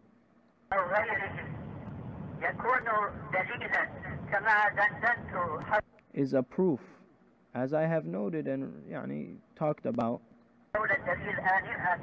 this proof previously نعم على أن هذا النص العام ليس مقصودا that this general statement is not what is meant يعني to just unconditionally leave the beard. This is not what is meant, as I have noted previously. حينئذ لا يجوز أن يقول بالجواز الإسبال Then at that point, it is not permissible for him to say with the permissibility of al isbal, the sheikh meaning here that the beard goes past the handspan. أو إن قال بهذا فعليه أن يخطئ أن يخالف الإسبال Or if he says with this, then it is upon him that he says the one that goes in opposite to this is a, making a mistake. فما هو يا ترى الجواب؟ So what do you see the answer is? هو شيخنا يقول ان ال ان مثلا يعني انا ممكن اجاوب على اللي انا فهمته منه يعني The, the student says, "Yes, Sheikh, well, he says, and I can only answer what I understood from him.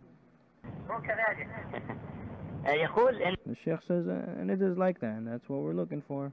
He says, the questioner is saying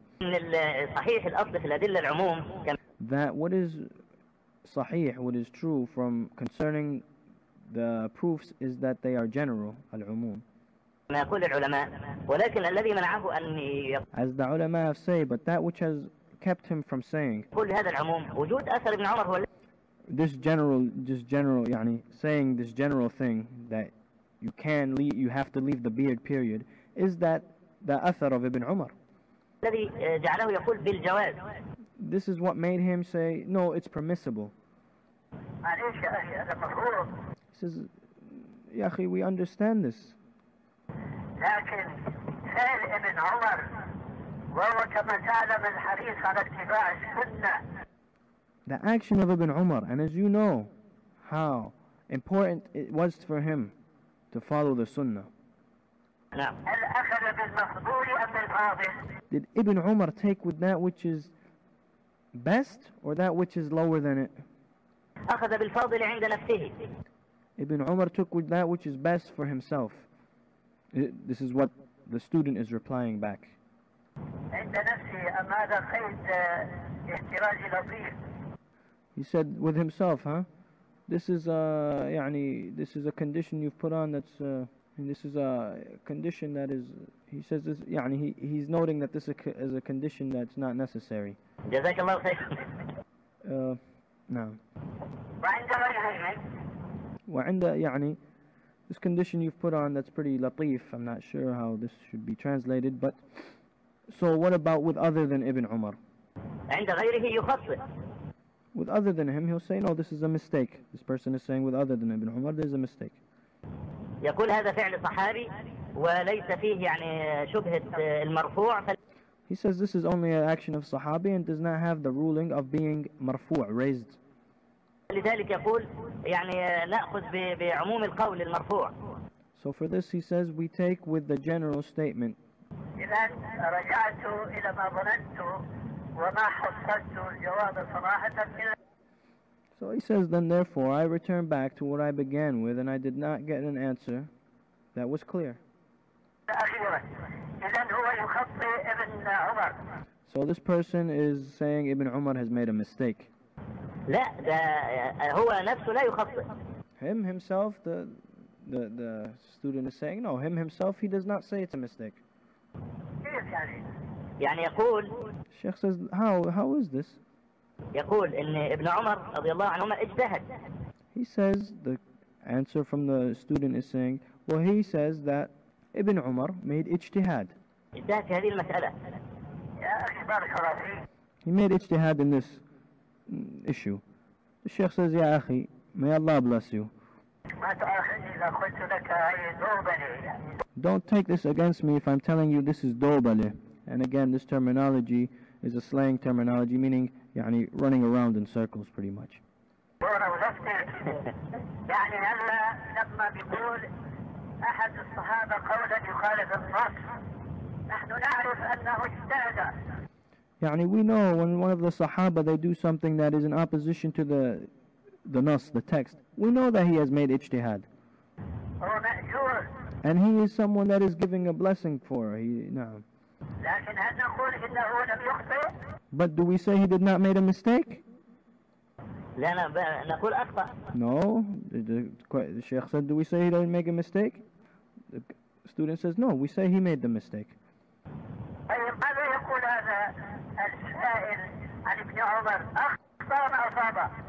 So then the Sheikh is saying, what is this questioner saying about Ibn Umar? He made a mistake or not? He made a mistake or was he correct? ما ما أدري The student Abu Ishaq said, I don't know. هذه مشكلة لكن هو Sheikh says, well, this is a problem. عموما شيخنا يعني كان كان هو مناط البحث كله يقول حتى لو سلمنا بأي خطوة من الخطوات The student is saying, yes, Sheikh, well, with my uh, debate with this person, is that he's saying, even if we had submitted to all of these khutuwat, these, these certain steps, then القول بالوجوب لا يؤخذ من فعل النبي عليه الصلاة والسلام فكيف this statement of wujub, of making an obligation to take whatever is past one fistful, is not taken from the statement of the Prophet ﷺ. So how would not be taken from a statement from the Prophet ﷺ. So how سيؤخذ من قول صحابي من فعل صحابي how would it just be taken from an action of a sahabi? يا أخي بارك الله فيك هذا اسمه استباق النتائج The Sheikh rahimahullah rahmatan wasi'ah said, Ya akhi, may Allah bless you. This is called mixing in mixing mixing the solutions or na'am. والوصول إلى الخاتمة قبل الانتهاء من المقدمة And this is called trying to get to the end before following the means to get there. Or getting to the end of the thing before the introduction of it. آه. لك في مقدمة الكلام القول بالوجوب هو نتيجة هذا التسلسل العلمي المنطقي I said to you at the beginning of our debate or our statement here is that the statement of al wujub, making it an obligation, would come through our following these steps that come in order upon that is a knowledge based steps and logical in understanding. لكن نحن ما وصلنا إلى هذه النتيجة بعد But we have not reached our goal as of yet لأنك اضطربت ولا مؤاخذة بنقل ذلك بنقل آه، رأي ذلك السائل because you have made an ittirab, yani a, s- a sort of contradiction, and do not take anything against me in my saying this to you, in you describing his situation or yani passing on his words. نعم التسلسل العلمي المنطقي لا I told you that to reach our solution or our goal, it would have to be through these steps that are knowledge based and logical, in order. لكن نحن ما وصلنا إلى هذه النتيجة بعد But we have not reached this goal yet because you have made a certain type of idtirab, and that is a type of contradiction in your statement, and please don't take this against me, in your narrating the argument to me through the person you are narrating it from. بنقل ذلك ب- ب- بنقل آه، رأي ذلك السائل نعم هل يرى أن ابن عمر أخطأ أم لم يخطئ؟ So does the questioner, did he see that Ibn Umar made a mistake or not? That is in taking from the beard. يفهم من تراشيح كلامك أنه يقول بأنه أخطأ What is apparent from me, from what you, your words, from him, is that he is saying, yes, that Ibn Umar did make a mistake. Is this true? لكن لا يتجرأ على القول بأنه أخطأ But he does not have the courage, or يعني, he does not have the audacity to say, yes, Ibn Umar made a mistake. لأنه يقول مجتهد وأنا But he says he is a mujtahid. أقول أيضا مهما كان خطأ المخطئ And I say, and I add to this, is that no matter how big the mistake of the one that made the mistake is from the Sahaba, من الصحابة خاصة إذا كانوا من أهل العلم والفضل كابن especially if they are from the people of virtue and knowledge from between the Sahaba, such as Ibn Umar, عمر مهما كان خطأه جليا ظاهرا فهو مأجور no matter how clear and apparent his mistake is, then he will be rewarded. لكن قولنا بأنه مأجور لا يمنعنا أن نقول بأنه أخطأ But even though we know that he is uh, uh, rewarded for uh, rewarded, this does not stop us from saying he still made a mistake. نعم الآن هنا ابن عمر إما أن يكون مأجورا أجرا واحدا فيكون مخطئا أو أن يكون مأجورا أجرين فيكون مصيبا So here it is that Ibn Umar either is rewarded one time, so he has made a mistake, or he is rewarded two times and he was correct. وهو في الحالة الأولى لابد للمخالف أن يقول أخطأ And in the first situation, it is binding upon the person that knows that he made a mistake to say he made a mistake. وفي الحالة الأخرى لابد لهذا المخالف أن يعترف بأنه أصاب And if it is the second, then it is binding upon the one that is saying this that Ibn Umar is right and he is correct. أنا ما عرفت بعد ما رأي ذلك السائل So up until now, I have not come to know what the opinion of the questioner is concerning Ibn Umar's action, حتى أصل إلى النتيجة so that I may reach with him to the goal. وهي أنه لابد من القول بالوجوب And that is that it is binding upon him to say it is an obligation to take from the beard, meaning the fistful.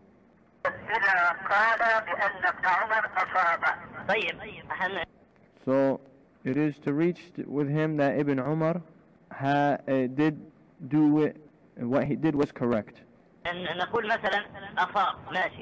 So Abu Ishaq, the student here, is saying, we, we're going to assume that he was correct, meaning Ibn Umar.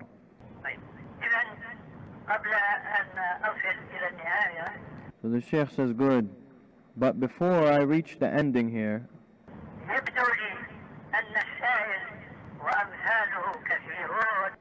it is apparent to me that the questioner and his likes, many of them,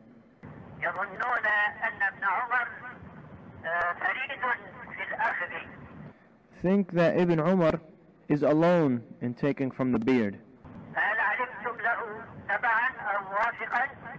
So the Sheikh is asking, so do you know for him someone that came uh, in support of Ibn Umar? He did like the likes of Ibn Umar?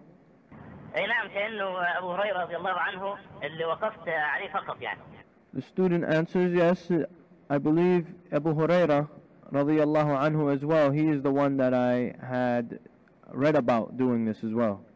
جميل وبعض الأئمة ماذا يقولون Sheikh says, beautiful. And the i the scholars, what do they say about taking from the beard? Uh, what is the sunnah in that? Did you know the answer for this? Did you know that the Imam of the Sunnah, he says to take past the fistful? The student says, no, we, we had no knowledge of this. Sheikh replies, Ahmed ibn Hanbal, he says this.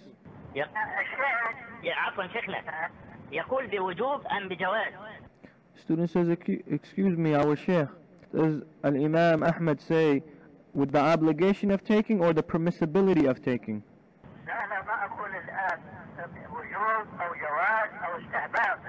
The Sheikh says, no, no, right now it is not that I'm going to state if it is an obligation or a permissibility or a liked matter.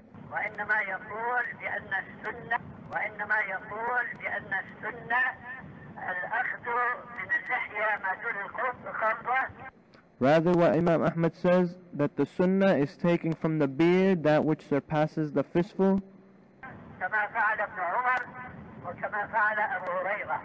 as Ibn Umar did and as Abu Huraira did. The questioner asks, our Shaykh, in which book did Imam Ahmad say this?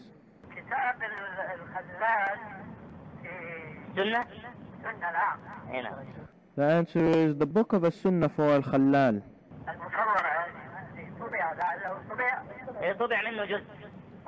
Sheikh says it was in the manuscripts at the time, but I don't know, has it been published? Aynaam. the student says it has been published. No. نعم نعم شاهد بارك الله فيك يا أبا إسحاق هذا The point, the, the place of proof, may Allah bless you, Ya Aba Ishaq, is حينما أقول ما, ما أقول أعود إلى بعض القواعد التي ما أظن When I say what I say, and I will return to some of the principles that I أن أحدا من أهل العلم الذين هم معنا على خط الكتاب والسنة يخالف فيها don't, don't believe that anyone from the scholars of the book and the Sunnah oppose us in it.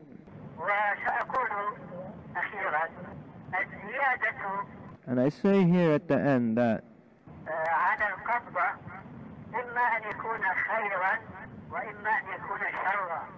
that whichever exceed the fistful from the beard is either going to be that is either going to be good or it's going to be bad.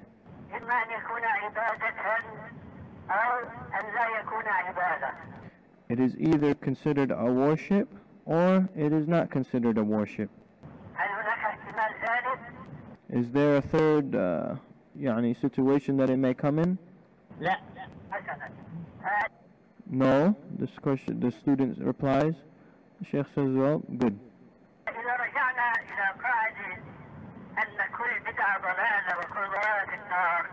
So now if we return back to the principle that every misguidance, every innovation is a misguidance, and every misguidance is in the hellfire.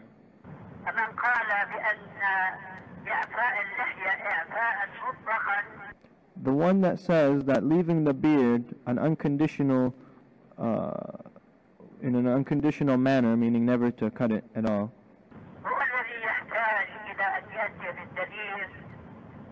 He is the one that is, need, is in need to bring forth the proof.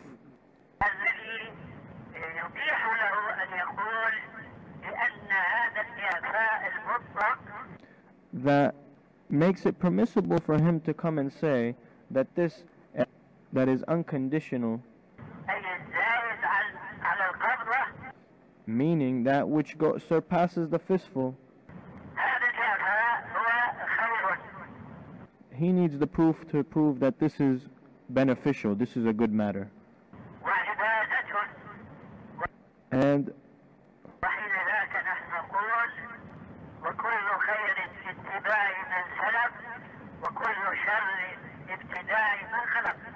Then at that point, we will say that every good is in following those who have preceded, and every evil is in the innovation of those who have come after.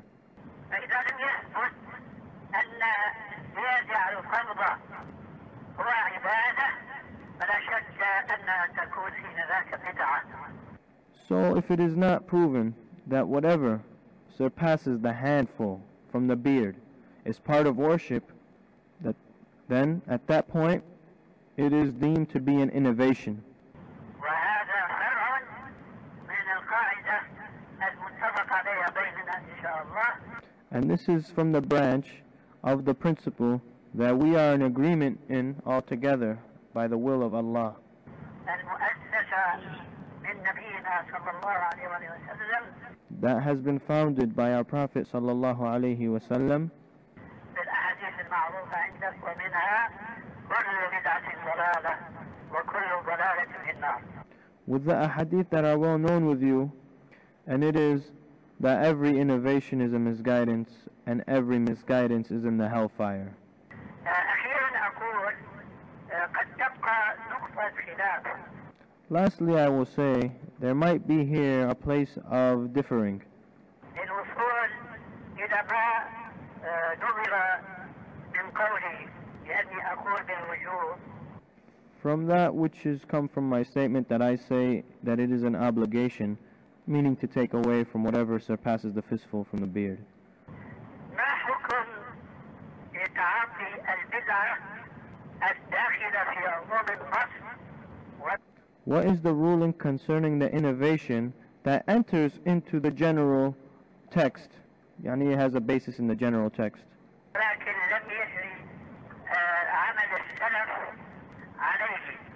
But the action of the Salaf was not in coinciding to it.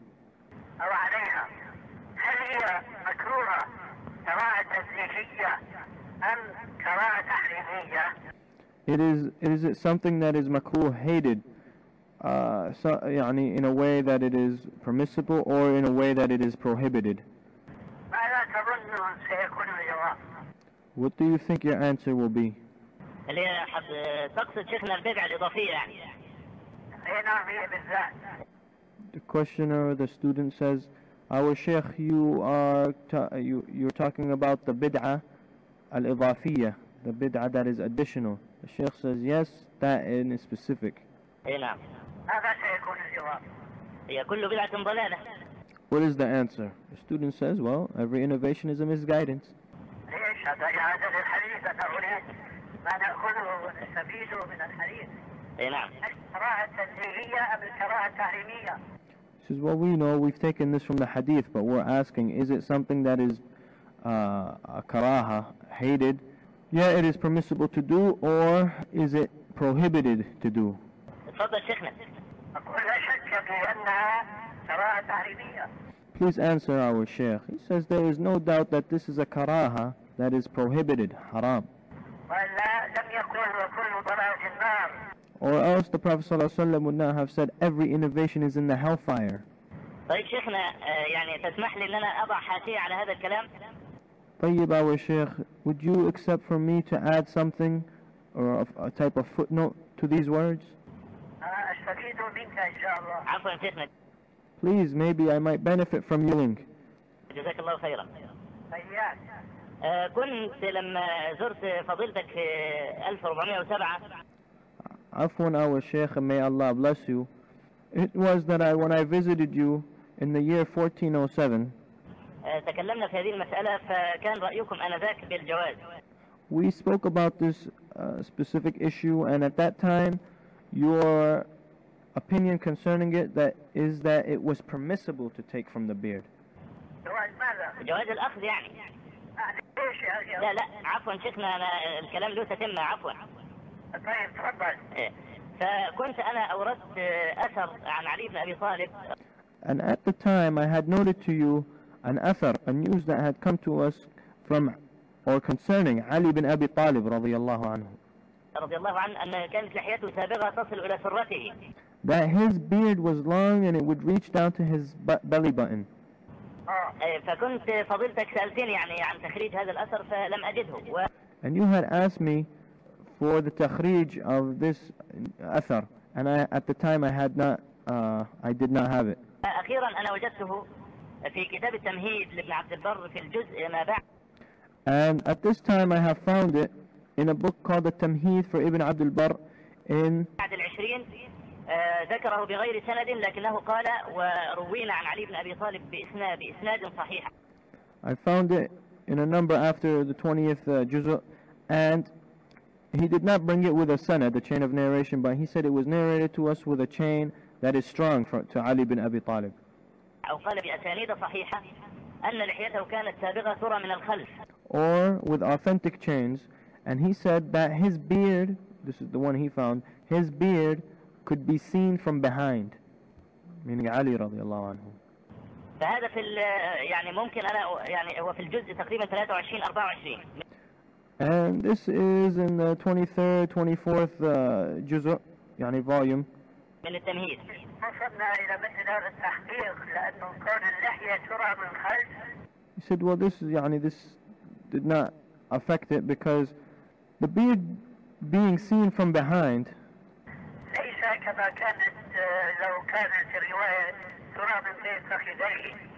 is as if it is not like if it was said that his beard was seen from between his thighs, meaning from behind, and you saw it between his legs. This is not the same. Seeing it from behind, this can this means it's wide. It means it's wide and thick. المهم ماذا تريد أن تستفيد من هذا الأثر What is important is what do you want to benefit from this athar? يعني لو آه، قلنا إن إن الرواية التي سأرجع إليها كانت تقول إن اللحية سابغة يعني if the narration that I would re- like to return back to said that the lih- that the beard was uh, sabigh being long, آه، طويلة عريضة هل ممكن في thick, long, wide, is it a possibility في هذه الحالة يقال إن يوضع مثلا اجتهاد علي بن أبي طالب رضي الله عنه في مقابل is it يعني a possibility that we say that there, this is an ijtihad from Ali bin Abi, bin Abi Talib concerning the beard, of course? The Sheikh says, you have returned back to if, ya Abu Ishaq. You have returned back to the word law. نعم ايه عفوا He says, ya Abu Ishaq, ya Aba Ishaq, have you left it? Have you left law as of yet? شيخنا لو لو سلمنا جدلا Says, ya Sheikhna, if, if we, uh, we, we submit to this uh, argument just for the sake of argument, شيخ بارك الله فيك ما ينبغي أن نأخذ بالفرضيات والمسألة في هذه الحساسية he says, may Allah bless you. It is not upon us, yani, this is not good for us to enter into these uh, issues that are just certain possibilities and things like this.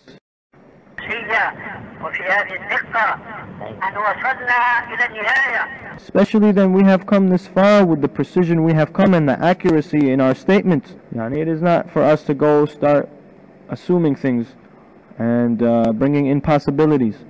وصلنا إما أن يكون الزيادة على القبضة خيرا وفضيلة وعبادة We have reached to the point that we are trying to determine it is either that the that which is pa- surpasses the beard, it surpasses the festival of the beard, is either something that is good and a virtue and a worship, حينئذ نحتاج إلى النص الذي يثبت لنا هذه الفضيلة Now, what we are seeking from the people that would like to would like to say this is the text that proves to us this virtue of having the beard long like that.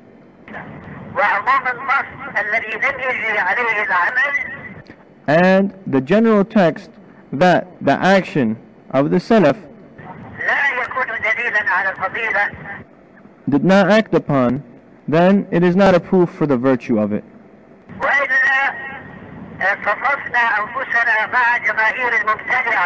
Or else what would happen to us is we would have to put ourselves in the category of the majority of the innovators. الذين يحسنون كل بدعة يعتمدون على النصوص العامة Those that liken every innovation and to do that they use as a support the general text. ولذلك فنحن بحاجة هنا إلى نصوص وليس إلى نص so here we are in need of texts, and not just one text. This text that you are trying to bring back, yani authenticate to Ali anhu. Especially when it is not a text concerning this issue of the length of the beard. What we need is texts from our pious predecessors that they used to let their beards grow.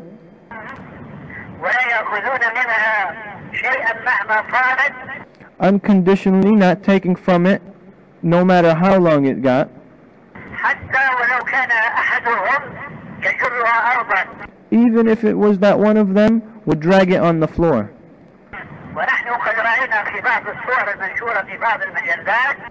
And look, we've seen some of the pictures that have been uh, published by some of the magazines. A man from China, I believe. His beard is longer than him.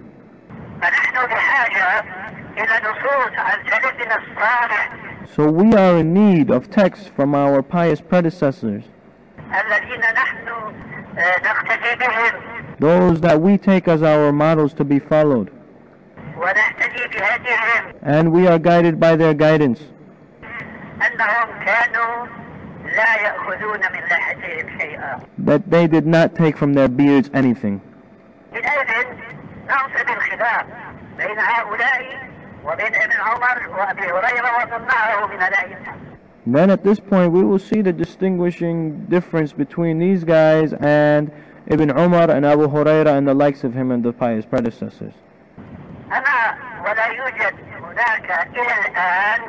And verily, up until this point, we have not found, or there has not been produced any proof to this effect. A text, and this is to my knowledge, وربما يجوز لي أن أقول أيضا وفيما علمت أيضا And maybe it is permissible for me to say, you as well do not know of a text of this to this effect either. لا يوجد لدينا نص أن أحدا من السلف الصالح كان يعفو عن لحيته We don't have a text that any of the Salaf as-Salih used to leave his beard ولو كانت أطول من القبضة e- even if it surpassed the fo- the the fistful. We don't have a text that proves this. That they would not they would leave their beard past the fistful. فإذا سلمنا بهذا حينئذ نحن نقول لا يجوز الاستدلال بال- So if you agree with this, then at this point we need to say that it is not permissible to use as a proof بالنص العام the general text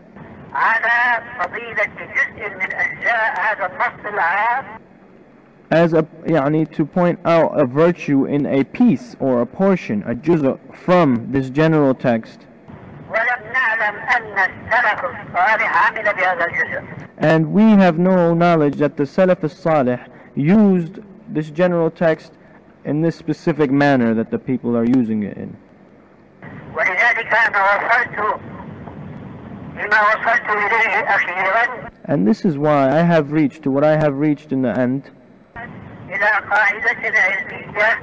to a fundamental principle آه، قد يقال لمن سبقك إليها and it could be said to me who has beat me to this أقول أما في التعبير فلا أعلم I will say as for in my terminology then I don't know anyone أما من حيث المعنى الذين يقولون معنا بأن كل بدعة ضلالة ذلك معنى ما أقول As for the meaning of what I what it is, those that say that every innovation is a misguidance, then they are upon the same track.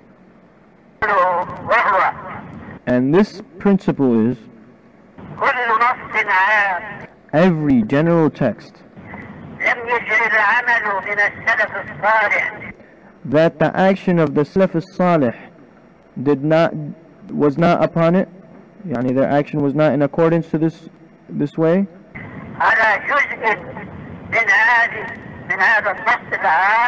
in a specific matter of this general text. so using this general text upon that specific mat in that specific way is from the bid'ah al-idafiyya, the additional innovations. What do you have to say about this, Ya Aba Ishaq? At the end of our mataf.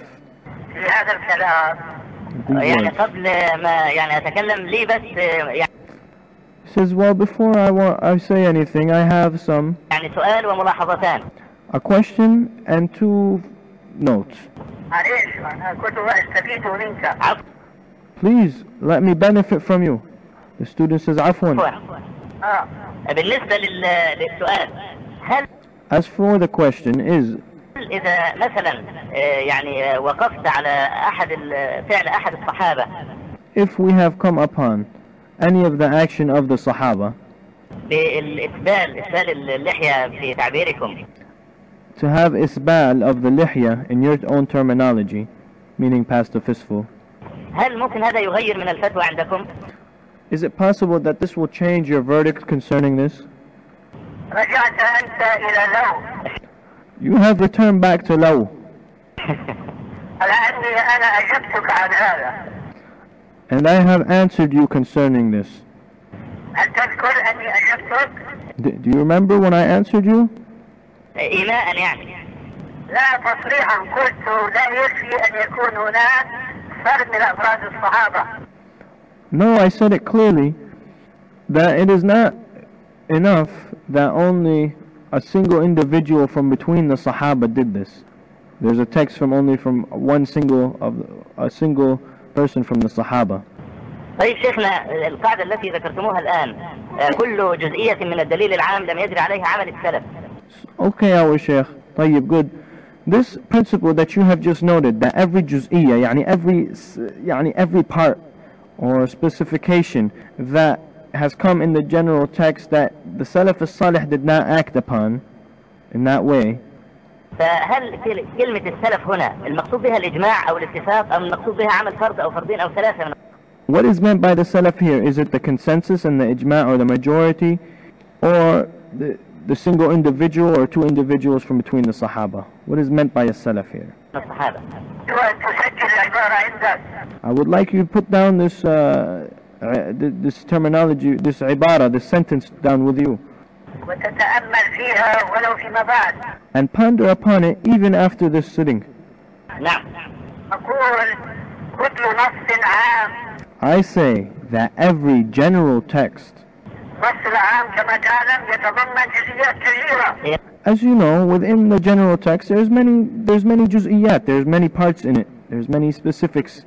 نعم جزء من هذه الجزئيات نعلم بطريقة أو بأخرى So if there's a juz', there's a part from these parts, we will know in one way or another أن السلف لم يعملوا بهذا الجزء فالعمل بهذا الجزء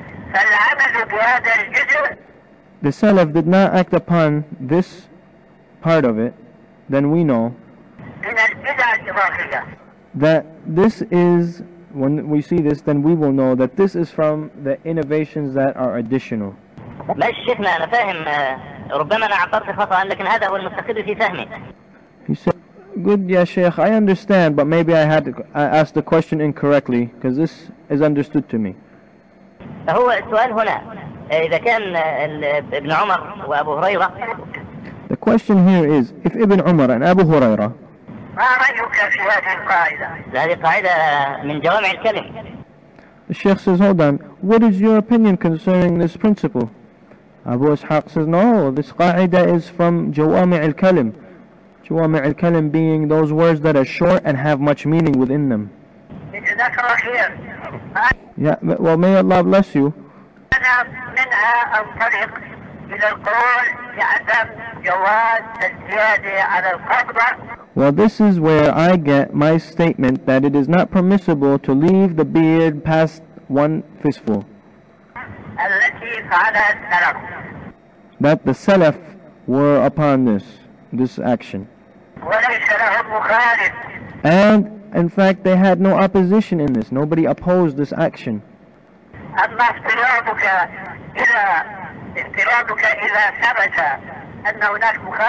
As for your trying, for sake of argument, saying that maybe there is, it, it has been produced that there is one of the Sahaba that did opposite to, to this action. Uh, then I have to tell you that with every hadith, that every situation that is that befalls, there is one that, that knows about it.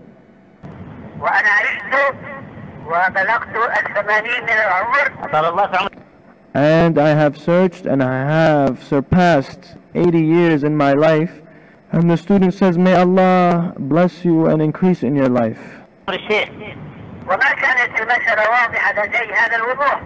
And this affair, this question, yani this issue has never been clear to me more than its clarity right now.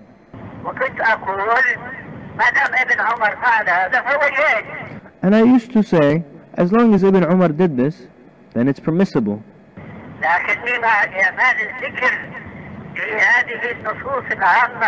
But with my continuous, continuous pondering upon these general texts, توصلت إلى هذه القاعدة التي ما أظن أحدا يناقش فيها I have come to this principle that I don't believe anyone can argue in.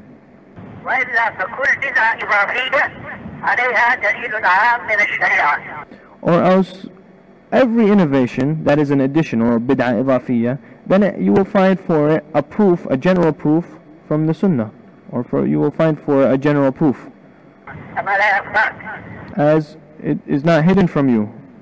نعم لهذا أنا أقول أن المسألة في الحقيقة مع إخواننا أهل الحديث So due to this, I say, our يعني, uh, debate with our brothers from Ahl al-Hadith, والذين يقولون معنا كل بدعة ضلالة and those who say with us that every innovation is a misguidance, وكل ضلالة في النار and every misguidance is in the hellfire, ويتذكرون معنا And they remember with us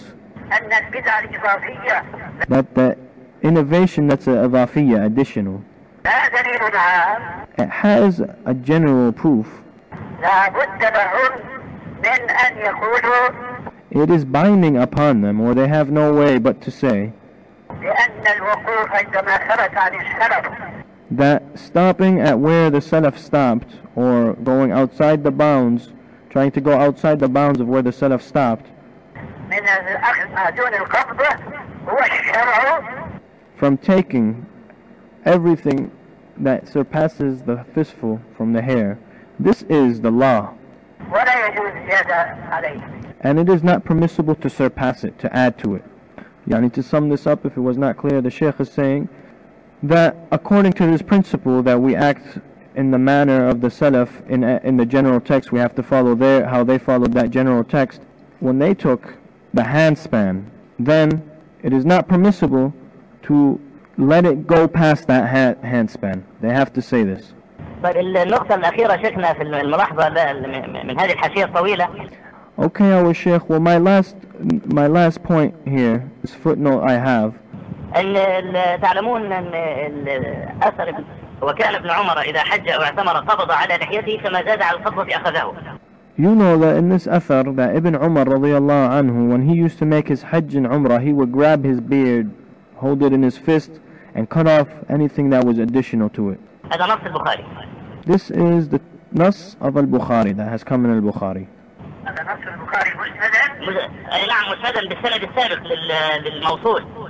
Now this is the Sanad of al-Bukhari, Musnad meaning all the continuous to whoever it's narrated from.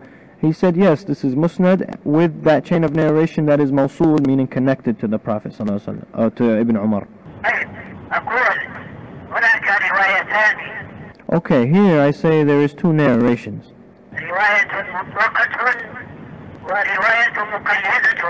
There is a narration that is uh, mutlaqa, general, or just, you know, general with no condition on it. And there is another narration that it has a condition to it. نعم الرواية المقيدة هي في ذهني ولا شك وهي واردة في مصادر كثيرة This narration that has the condition on it, and that is that he was in the Hajj and Umrah, then this is known and there's many narrations in, yani, in many people have narrated it. لكني ما أستحضر أنها في صحيح البخاري But in reality, I don't remember that it was in Sahih Bukhari. هي في صحيح البخاري جزما شيخنا His, the student is saying, no, I, I'm, it is in Sahih Bukhari for sure, our Sheikh. No problem, Ya Sheikh. The Sheikh Albani is replying, no problem, Ya Sheikh. I'm not, I'm not debating in you. I'm not debating you in this.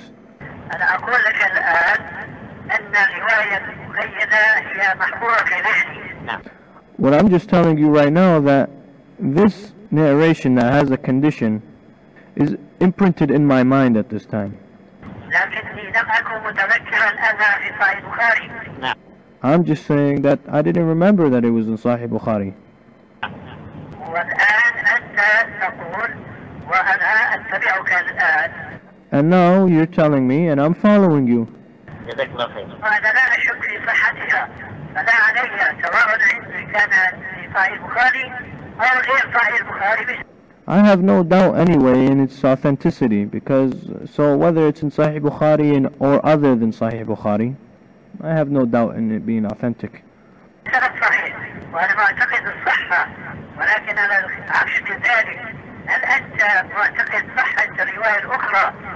So I am completely certain that this narration is sahih, it is authentic, but opposite to this is it you that has that belief that the other narration that is does not have the condition onto it, the general narration, is sahih, is authentic?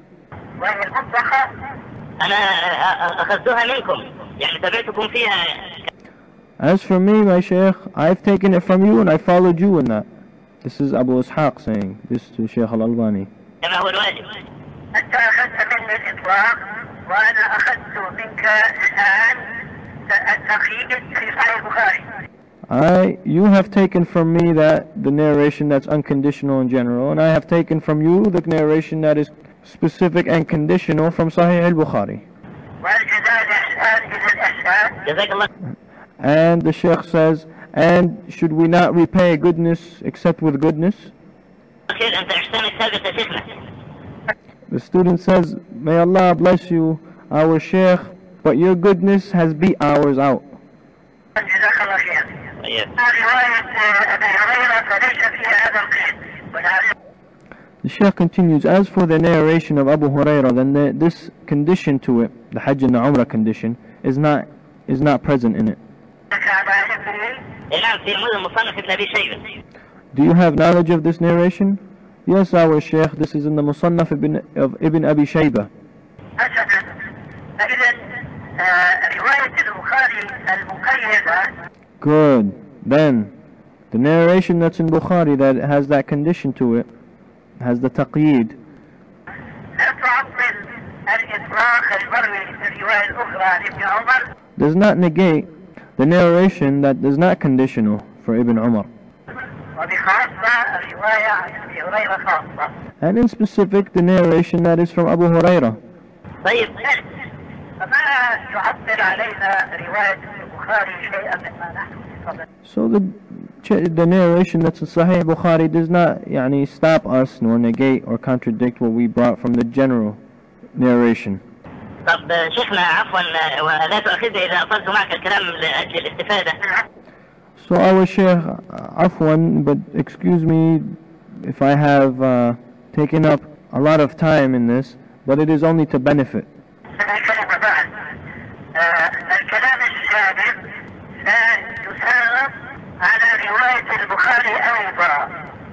so these previous words that we have said, it should be implemented upon the narration of Sahih Bukhari as well. So we say to the questioner,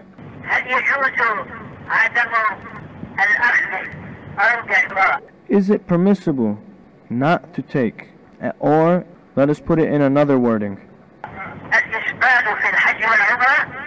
to make isbal in the, of the beard in al-hajj wal-umrah, and again, isbal, according to the sheikh, with the beard is that which surpasses the fat, the fistful. أي إسبال ال- إيه، اللحية فهما هذا واضح You mean isbal of the lihya? Yes, is this made clear to you? لا غير واضح شيخنا No, this is not clear to me, our sheikh. Clarify, please. إذا يعني لم لم لم أفهم لو أعدت القول مرحبا أقول So, can you please uh, repeat repeat this statement again for me? The sheikh says, okay, so I'm saying, آه، أخذ ابن عمر في الحج أو العمرة what Ibn Umar took in al-hajj and al-umrah, ما دون القبضة هذا الأخذ whatever surpassed the fistful, this taking of this fi- whatever surpassed the fistful, جائز فقط is it permissible only,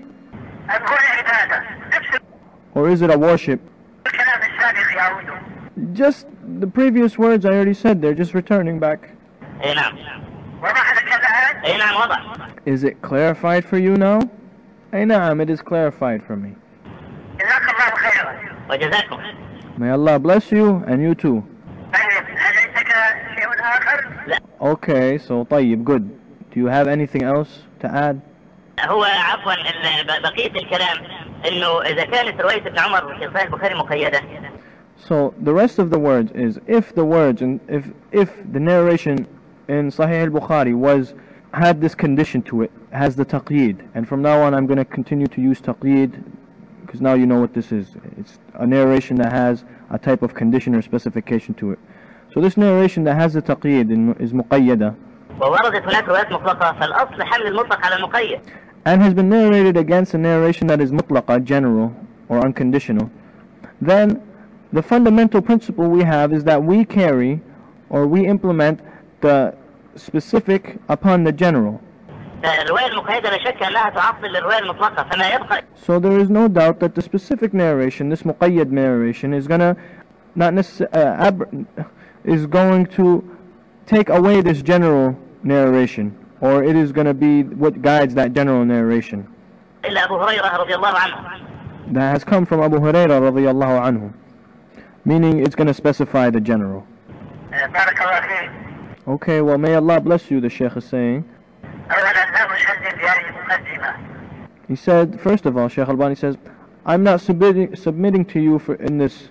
I don't agree with you in this. And on top of this, so that we put the this issue or, or nah, this affair into perspective. We are just going to, for the sake of argument, agree with you. But in reality, I don't see the difference, and I had told you previously, I introduced to you previously, Assume that there is no narration from Ibn Umar. Just assume this. Except for Al-Hajj and Al-Umrah.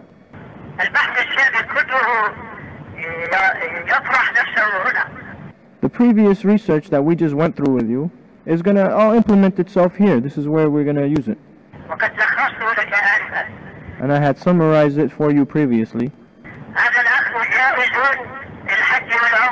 This taking, whatever has surpassed the fistful, is permissible in Hajj and Al-Umrah. أم عبادة Is it a worship والظاهر انه جائز في الحج والعمره وليس عباده uh, uh, or is it a worship? Abu Ishaq says, what is apparent to me it is permissible in Al-Hajj and Umrah and not a worship. ليس عبادة يعود البحث السابق Okay, you're saying it's not a worship. So now we have to go back to our previous research. طيب خير شيخنا أي والله أرجو أن تتأمل الموضوع لأنه أولا الموضوع Okay, what I need you to do is think about this issue, to ponder upon it. في حد ذاته فيه دقة Because this issue, this affair, in its in itself, is is very precise. وثانيا وأخيرا غير معالج وغير مطروح في في هذا البسط والشرح And second of all, and last of all, it is not explained and taken into uh, account in this precision and this uh, accuracy, يعني anywhere else. إيه نعم آه، عفوا شيخنا آه، هل ممكن آه، يعني آه، امل لفضيلتك آه، الجزء والصفحه من فتح الباري لهذه الزياده التي ذكرتها لابن عمر؟ Our Sheikh, may I tell you, uh, may I read to you that which is in Fath al-Bari concerning this narration from Ibn Umar? لا بل ضرورة بارك الله فيك جزاك الله خير نحن إن شاء الله بارك الله فيك يا شيخنا وإذا كان عندك يعني آه، جائز للبحث فهذا يقرب فيه The Sheikh has agreed to this and he says, you know, may Allah bless you and if there's something in, the, in your research that you have come to that you can benefit, benefit me with, bring it forth. اي نعم هو عندي كذلك يعني جائز So, uh, and if it's with you just jaiz, you know, just permissible, then, nah.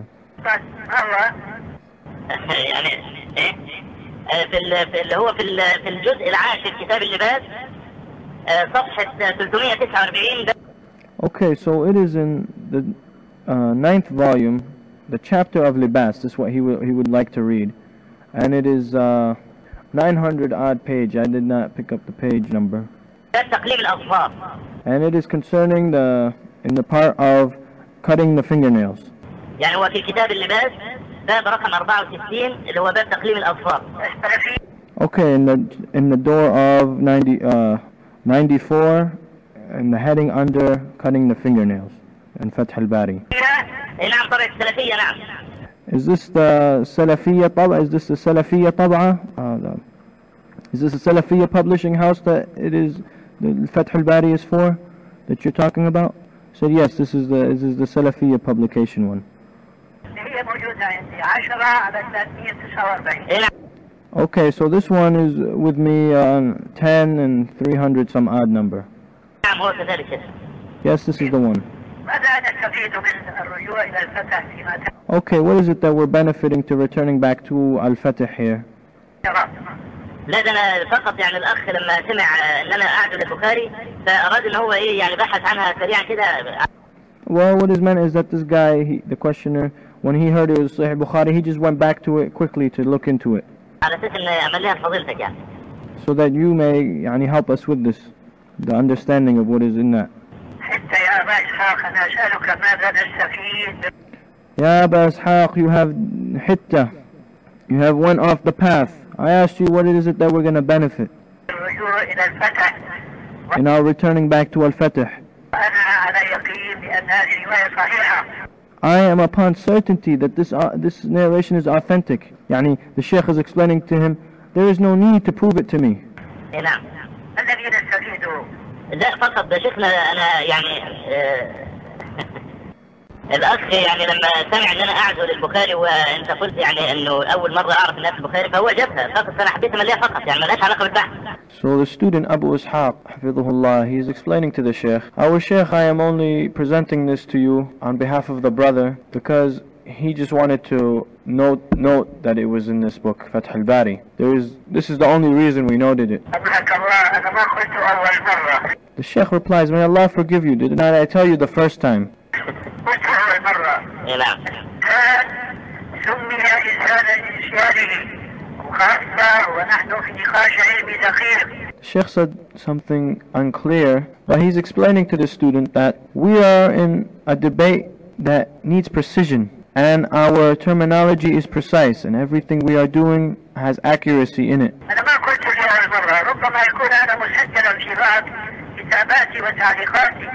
So the Sheikh is saying, this is not my first time to claim this. Maybe you will find it in some of my books and some of my recordings. Yani meaning the, the beard that surpasses the fistful is, is considered isbal. That's what he is referring to, rahimahullah.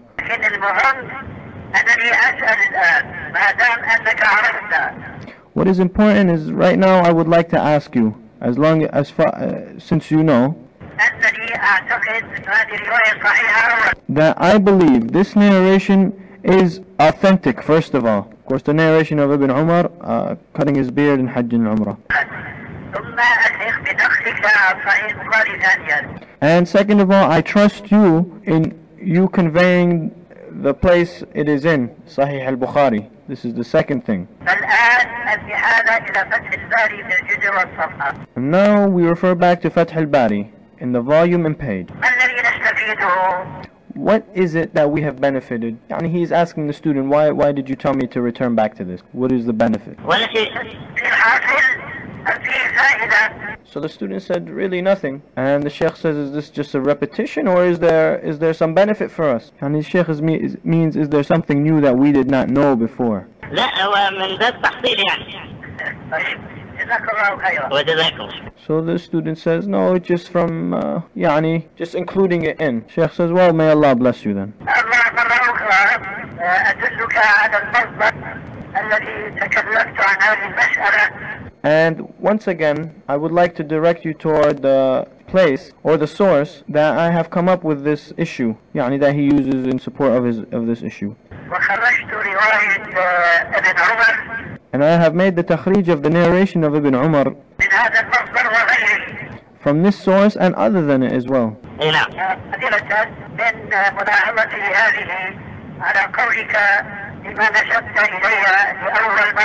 And this is why I'm saying this, is because of what you have claimed in your statement toward me that I this is the first time that I said it. Yani the Sheikh is proving to him this is not the first time and he's going to direct him toward places he can go and find that the Sheikh has said it before. The student asks to be excused for this, Yani, for, for uh, saying that. The Sheikh says, no, no, may Allah bless you, for you are, of, you are a blessed person to be reminding me.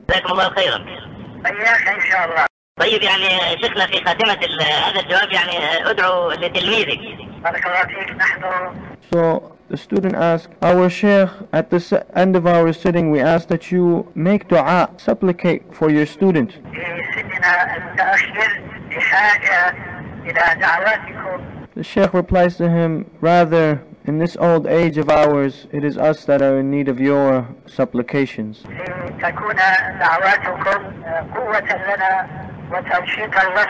So that your supplications, your da'awat will be something that will increase our energy and yani, give us more eh, power and energy to go forth and that which is left of our lives.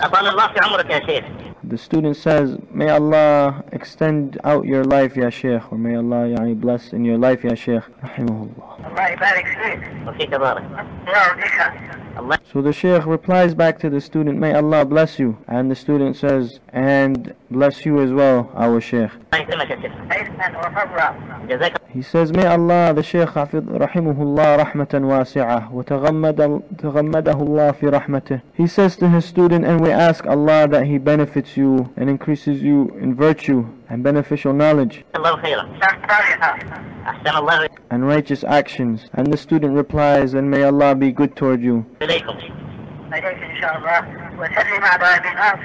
إليكم إليك إن شاء الله وسلم على أبي ناصر And the Shaykh says, وإياكم and please give our salam to Abi Nasr ومن قد يسأل and whoever may ask about us. جزاكم الله خيرا إن شاء الله And may Allah bless you, the student replies, and it will get, your salam will reach by the will of Allah. وأهلا بك وسهلا حياكم الله يا شيخنا الله يحييك ويبارك فيك آمين السلام عليكم ورحمة الله وبركاته وعليكم السلام ورحمة الله وبركاته ومغفرته الأستاذ أبو إسلام فتح لكم باب الأسئلة This is a new part of the Shaykh. This is another sitting in the tape. Shaykh Hafidhullah says, okay, now that Abu Islam has opened up the doors for questions, فهاتوا ما عندكم so give us what you have.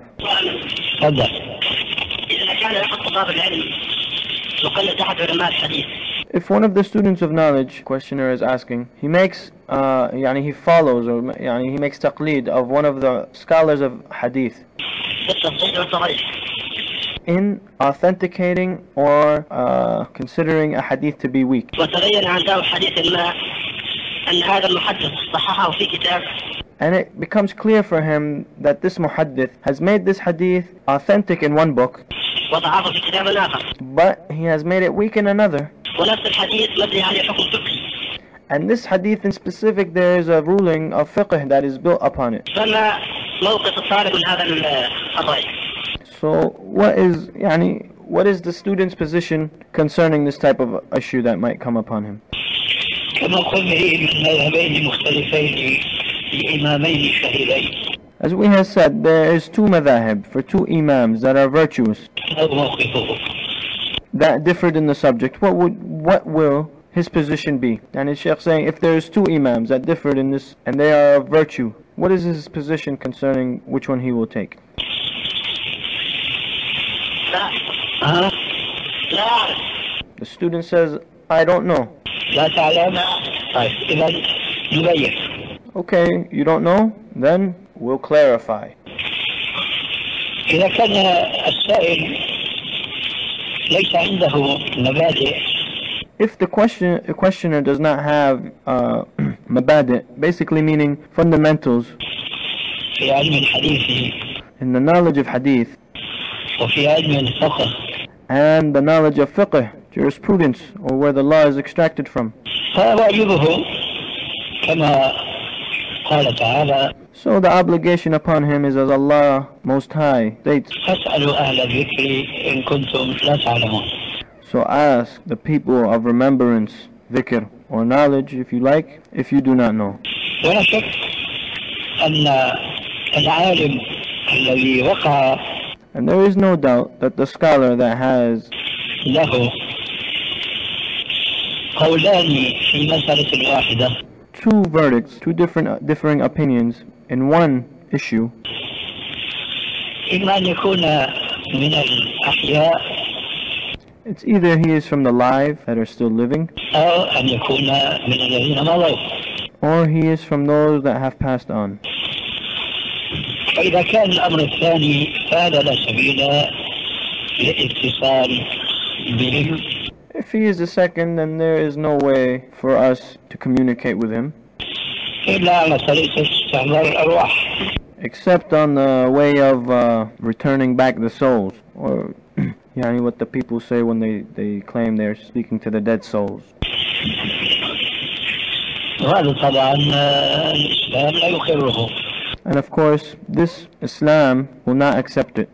هذا اسم تعليق بالمحال إذا كان الأمر كذلك عليه أن يتصل والحالة هذه If this is the situation, then he, it is upon him that he calls بالعلماء الذين ينتمون إلى ذاك الإمام the ulama that attribute themselves to that imam. المفروض أن له قولين في مسألة واحدة that has the two differing opinions in the same subject, same issue. فهؤلاء يعلمون إما أن يقال القول المتأخر then these students are the ones that will know which was the last statement. عن عن القول المتقدم The, the last statement that came from the scholar from the one that was earlier. فيقدم المتأخر على المتقدم.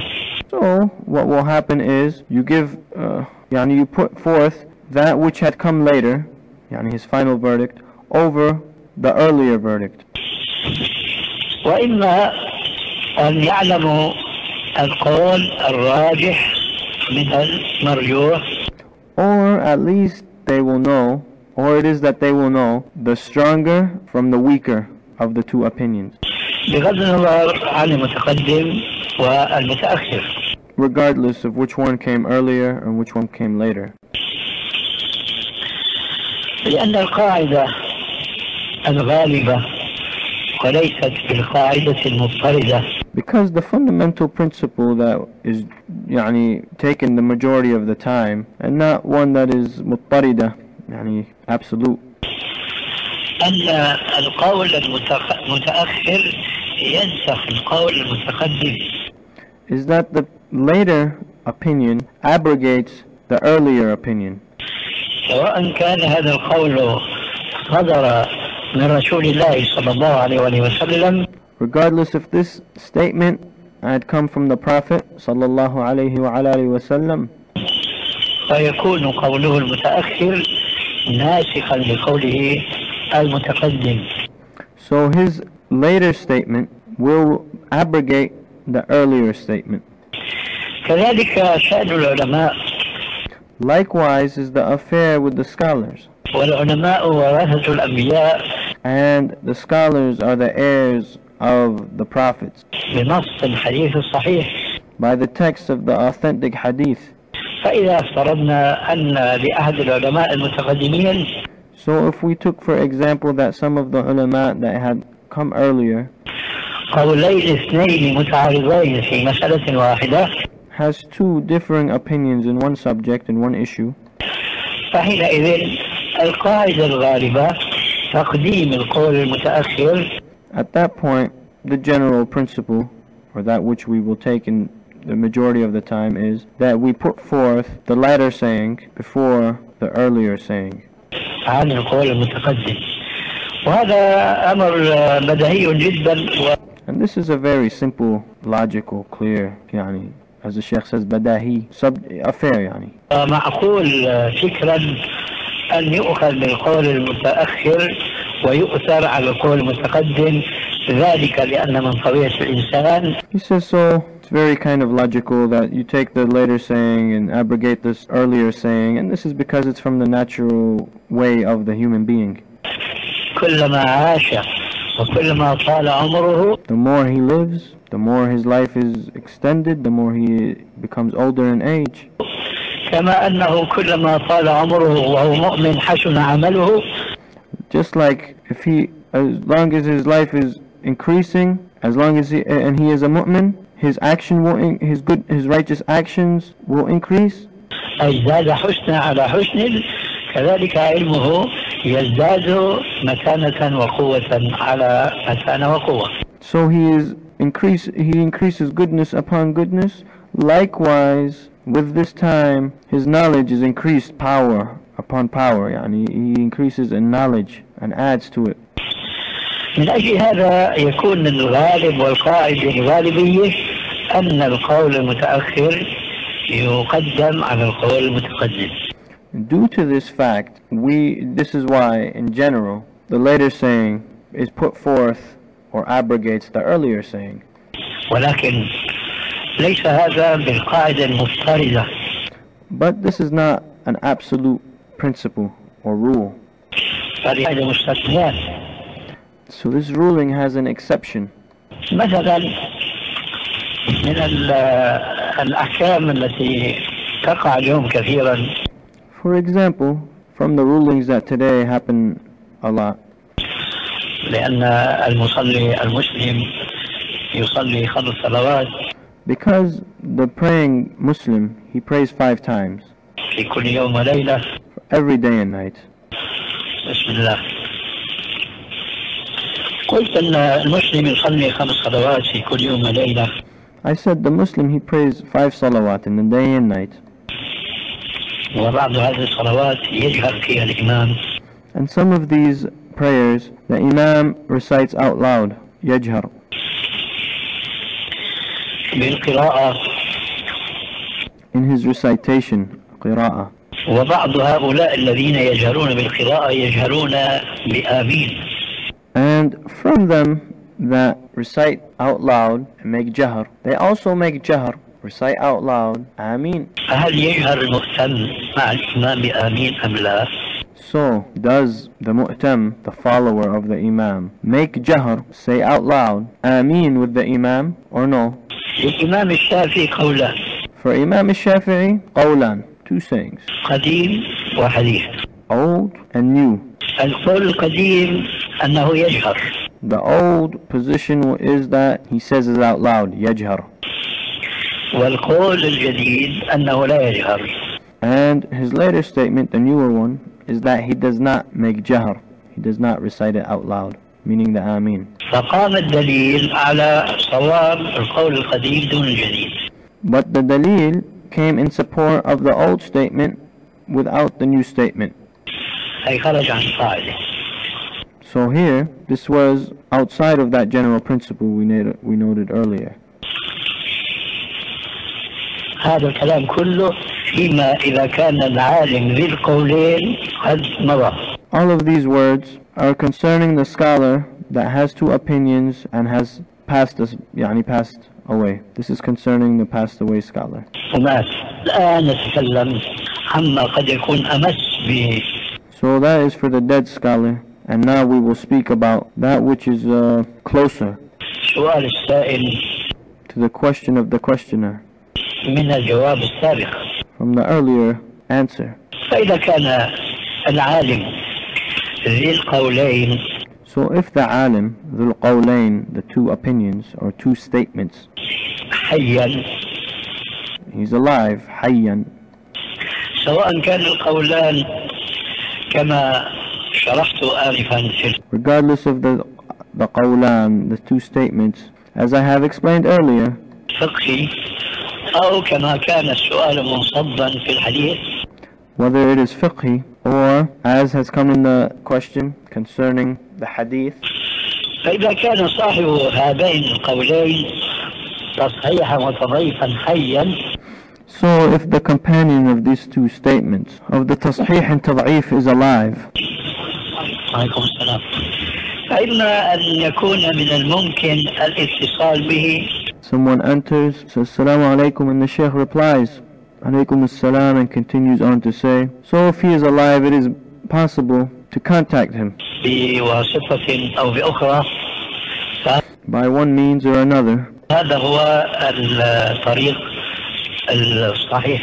So this is the correct path to take, contacting him.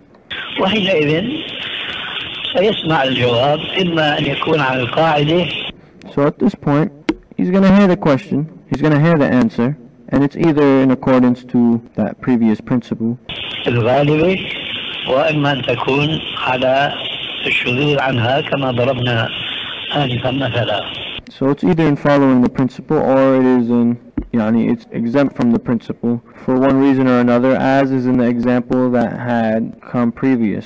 فإن كان لا يمكنه الاتصال So if it is not possible for him to contact the scholar بالشخص ذي القولين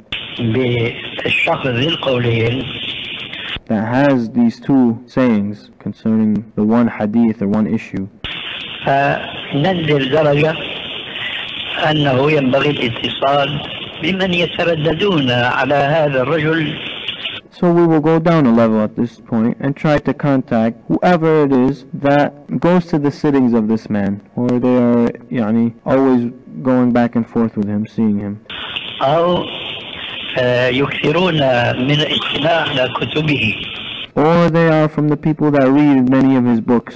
فهؤلاء يكونون أعرف برأي هذا الإنسان For these ones, they will be more knowledgeable of the opinion of this human من غيره from other than them. فإن لم يمكن جاءت المرحلة الثالثة And if it is not possible to contact them, then we have the third level, it is, and it is the last. أن يسأل أهل العلم الذين يشاركونه في هذا العلم بالتصديق والتضعيف He can ask the people of knowledge, other than this man, other than this scholar in specific, that are uh, into the same knowledge as this scholar in tasheeh and tad'if of the ahadith. فبأي القولين قالوا أخذ به ولا يكلف الله نفسا إلا وسعها So for whichever of the two they choose for themselves, the scholar he's going to ask, then it's upon him that he takes with it, he takes that say, statement, and Allah subhanahu wa ta'ala will not burden a soul more than that it can bear. هذا جواب ما سألته This is the answer to what you asked.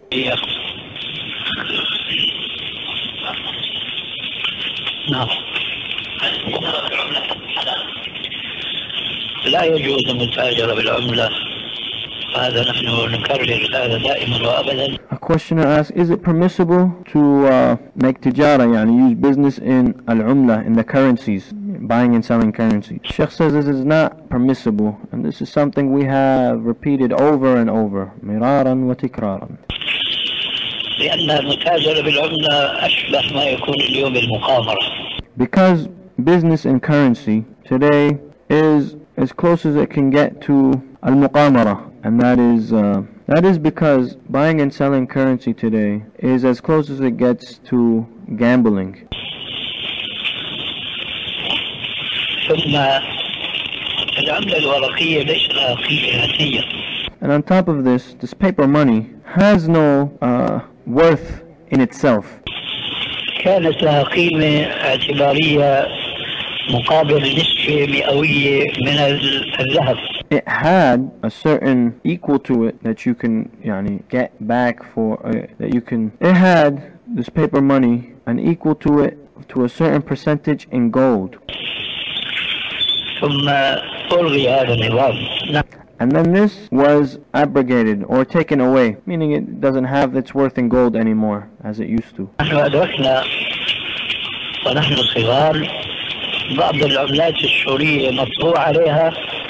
we remember when we were young that some of the Syrian money was printed on it.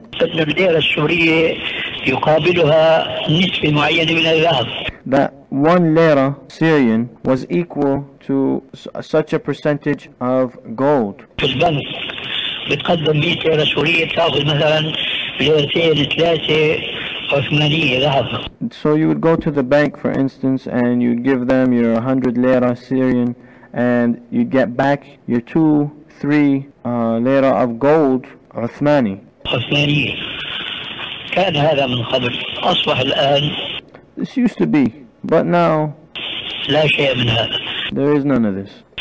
فعملة الشعوب خاصة الشعوب المنحطة أو المتأخرة So the currency of the nations, especially the nations that are underdeveloped, عملتها ورق لا فضة ولا ذهب their currency is paper. No silver, no gold. فكان المفروض أن العملة الورقية آه، لها نسبة معينة من الذهب So what is binding really is that this paper currency should have its equal in gold. فحينما تشتري عملة بعملة لازم تكون متساوية القيمة من So when you're buying a currency with another currency, should be equal in uh, its worth الناحية الذهبية from its worth in gold. وهذا اليوم غير موجود But today this is not present. يضاف إلى ذلك هذا ال- الانخفاض الذي And we add to this يتأثر بالعملات الورقية some of the things that affect these paper currencies بسبب الحروب أو أسباب أخرى from the taking out of loans or other things that might cause it to be affected. كما هو مشاهد مثلا في لبنان في سوريا Such as we see in the lands of Lebanon, Syria, ثم في العراق likewise in Al-Iraq, ثم هنا just and here, and he's speaking about Jordan, وأخيرا الكويت And likewise, we saw it happen in Al-Kuwait. ونحن نعرف ناسا كثيرين من التجار أصيبوا بخسارة فادحة And we know many of the businessmen that have been im- been affected by this and have lost huge amounts of wealth لأنهم كانوا يتعاملون بمثل هذه التجارة because they used to do business in these types of currencies. يعني they were trade currencies. وأعرف أنا شخصا ممن آه، هناك قرابة بيننا وبينه And I know a person that there is between us and him some family relations. لما انتهى بين العراق وبين آه، إيران When the war between Iraq and Iran ended, تحسن شوي وضع ال- الدينار العراقي the dinar of the Iraq, the dinar of Iraq, it became a little bit stronger. فنزل على السوق ركض ركضا واشترى ألوف مؤلفة لأنه هلا And he ran down to the marketplace and he bought thousands of thousands of Iraqi currency انتصرت العراق وراح يرتفع ايش؟ ثمن الدينار العراقي because Iraq was victorious and now the Iraqi dinar is supposedly going to rise. ما مضى على شرائه إلا أيام ورد انضرب ايش الدينار العراقي It was only a few days since he bought his currency and what happened? The Iraqi dinar was hit, meaning it wa- was weakened. فخسر خسائر بالغة جدا So he lost a lot, a lot of money. فلهذين السببين لا يجوز المتاجرة بالعملة الورقية هذه So due to these two reasons, it is not permissible to deal with the paper currency. وإنما يجوز منه ما يضطر إليه الإنسان But what is permissible is that which i- he is, uh, يعني it's a necessity for the human to go ahead and do, للصرف للحياة والمعيشة التي لابد منها where he has to convert currency because he needs to live and use it for his living. أما يشتري ويدخر ويراقب الجو But to buy and save it and watch how the current affairs are going سوق البورصة طلع نزل and the marketplace of, you know, the Sheikh noted some type of marketplace. Did it go up? Did it go down? Did it rise? Did it fall? So then he starts to take action concerning, يعني in accordance to did it rise or did it fall? اللي أظن كلنا أصبحنا نعتقد أنه السوق هذا كله بيد اليهود That I think we all know by now and we all believe that this whole marketplace is in the hands of the Jews. هكذا يقولون And this is what everybody's saying. مع ذلك بتلاقي الناس لا يعتبرون And with this, you find the people they do not understand, they don't think. And they go and buy and they sell. And they don't even feel that as if they're gambling. And the, and the Quran is the Maysir, that which is made prohibited for us by the text of the Quran. هذا والحمد لله رب العالمين. اللهم ارحم شيخنا الألباني رحمة واسعة وتغمده في رحمتك يا أرحم الراحمين. We ask Allah that He has mercy upon our Shaykh and that He increases him in levels of Jannah and all of our ulama. Please remember him in your dua for he has presented this knowledge to us. وبهذا القدر كفاية والحمد لله رب العالمين. I would like to remind all of the Muslimin that Arabi, the Arabic language, is your language and the language of all of the Muslimin. It is binding upon us to learn the Arabi language and take knowledge from its source and not merely re- rely upon the translations. هذا وآخر دعوانا أن الحمد لله رب العالمين.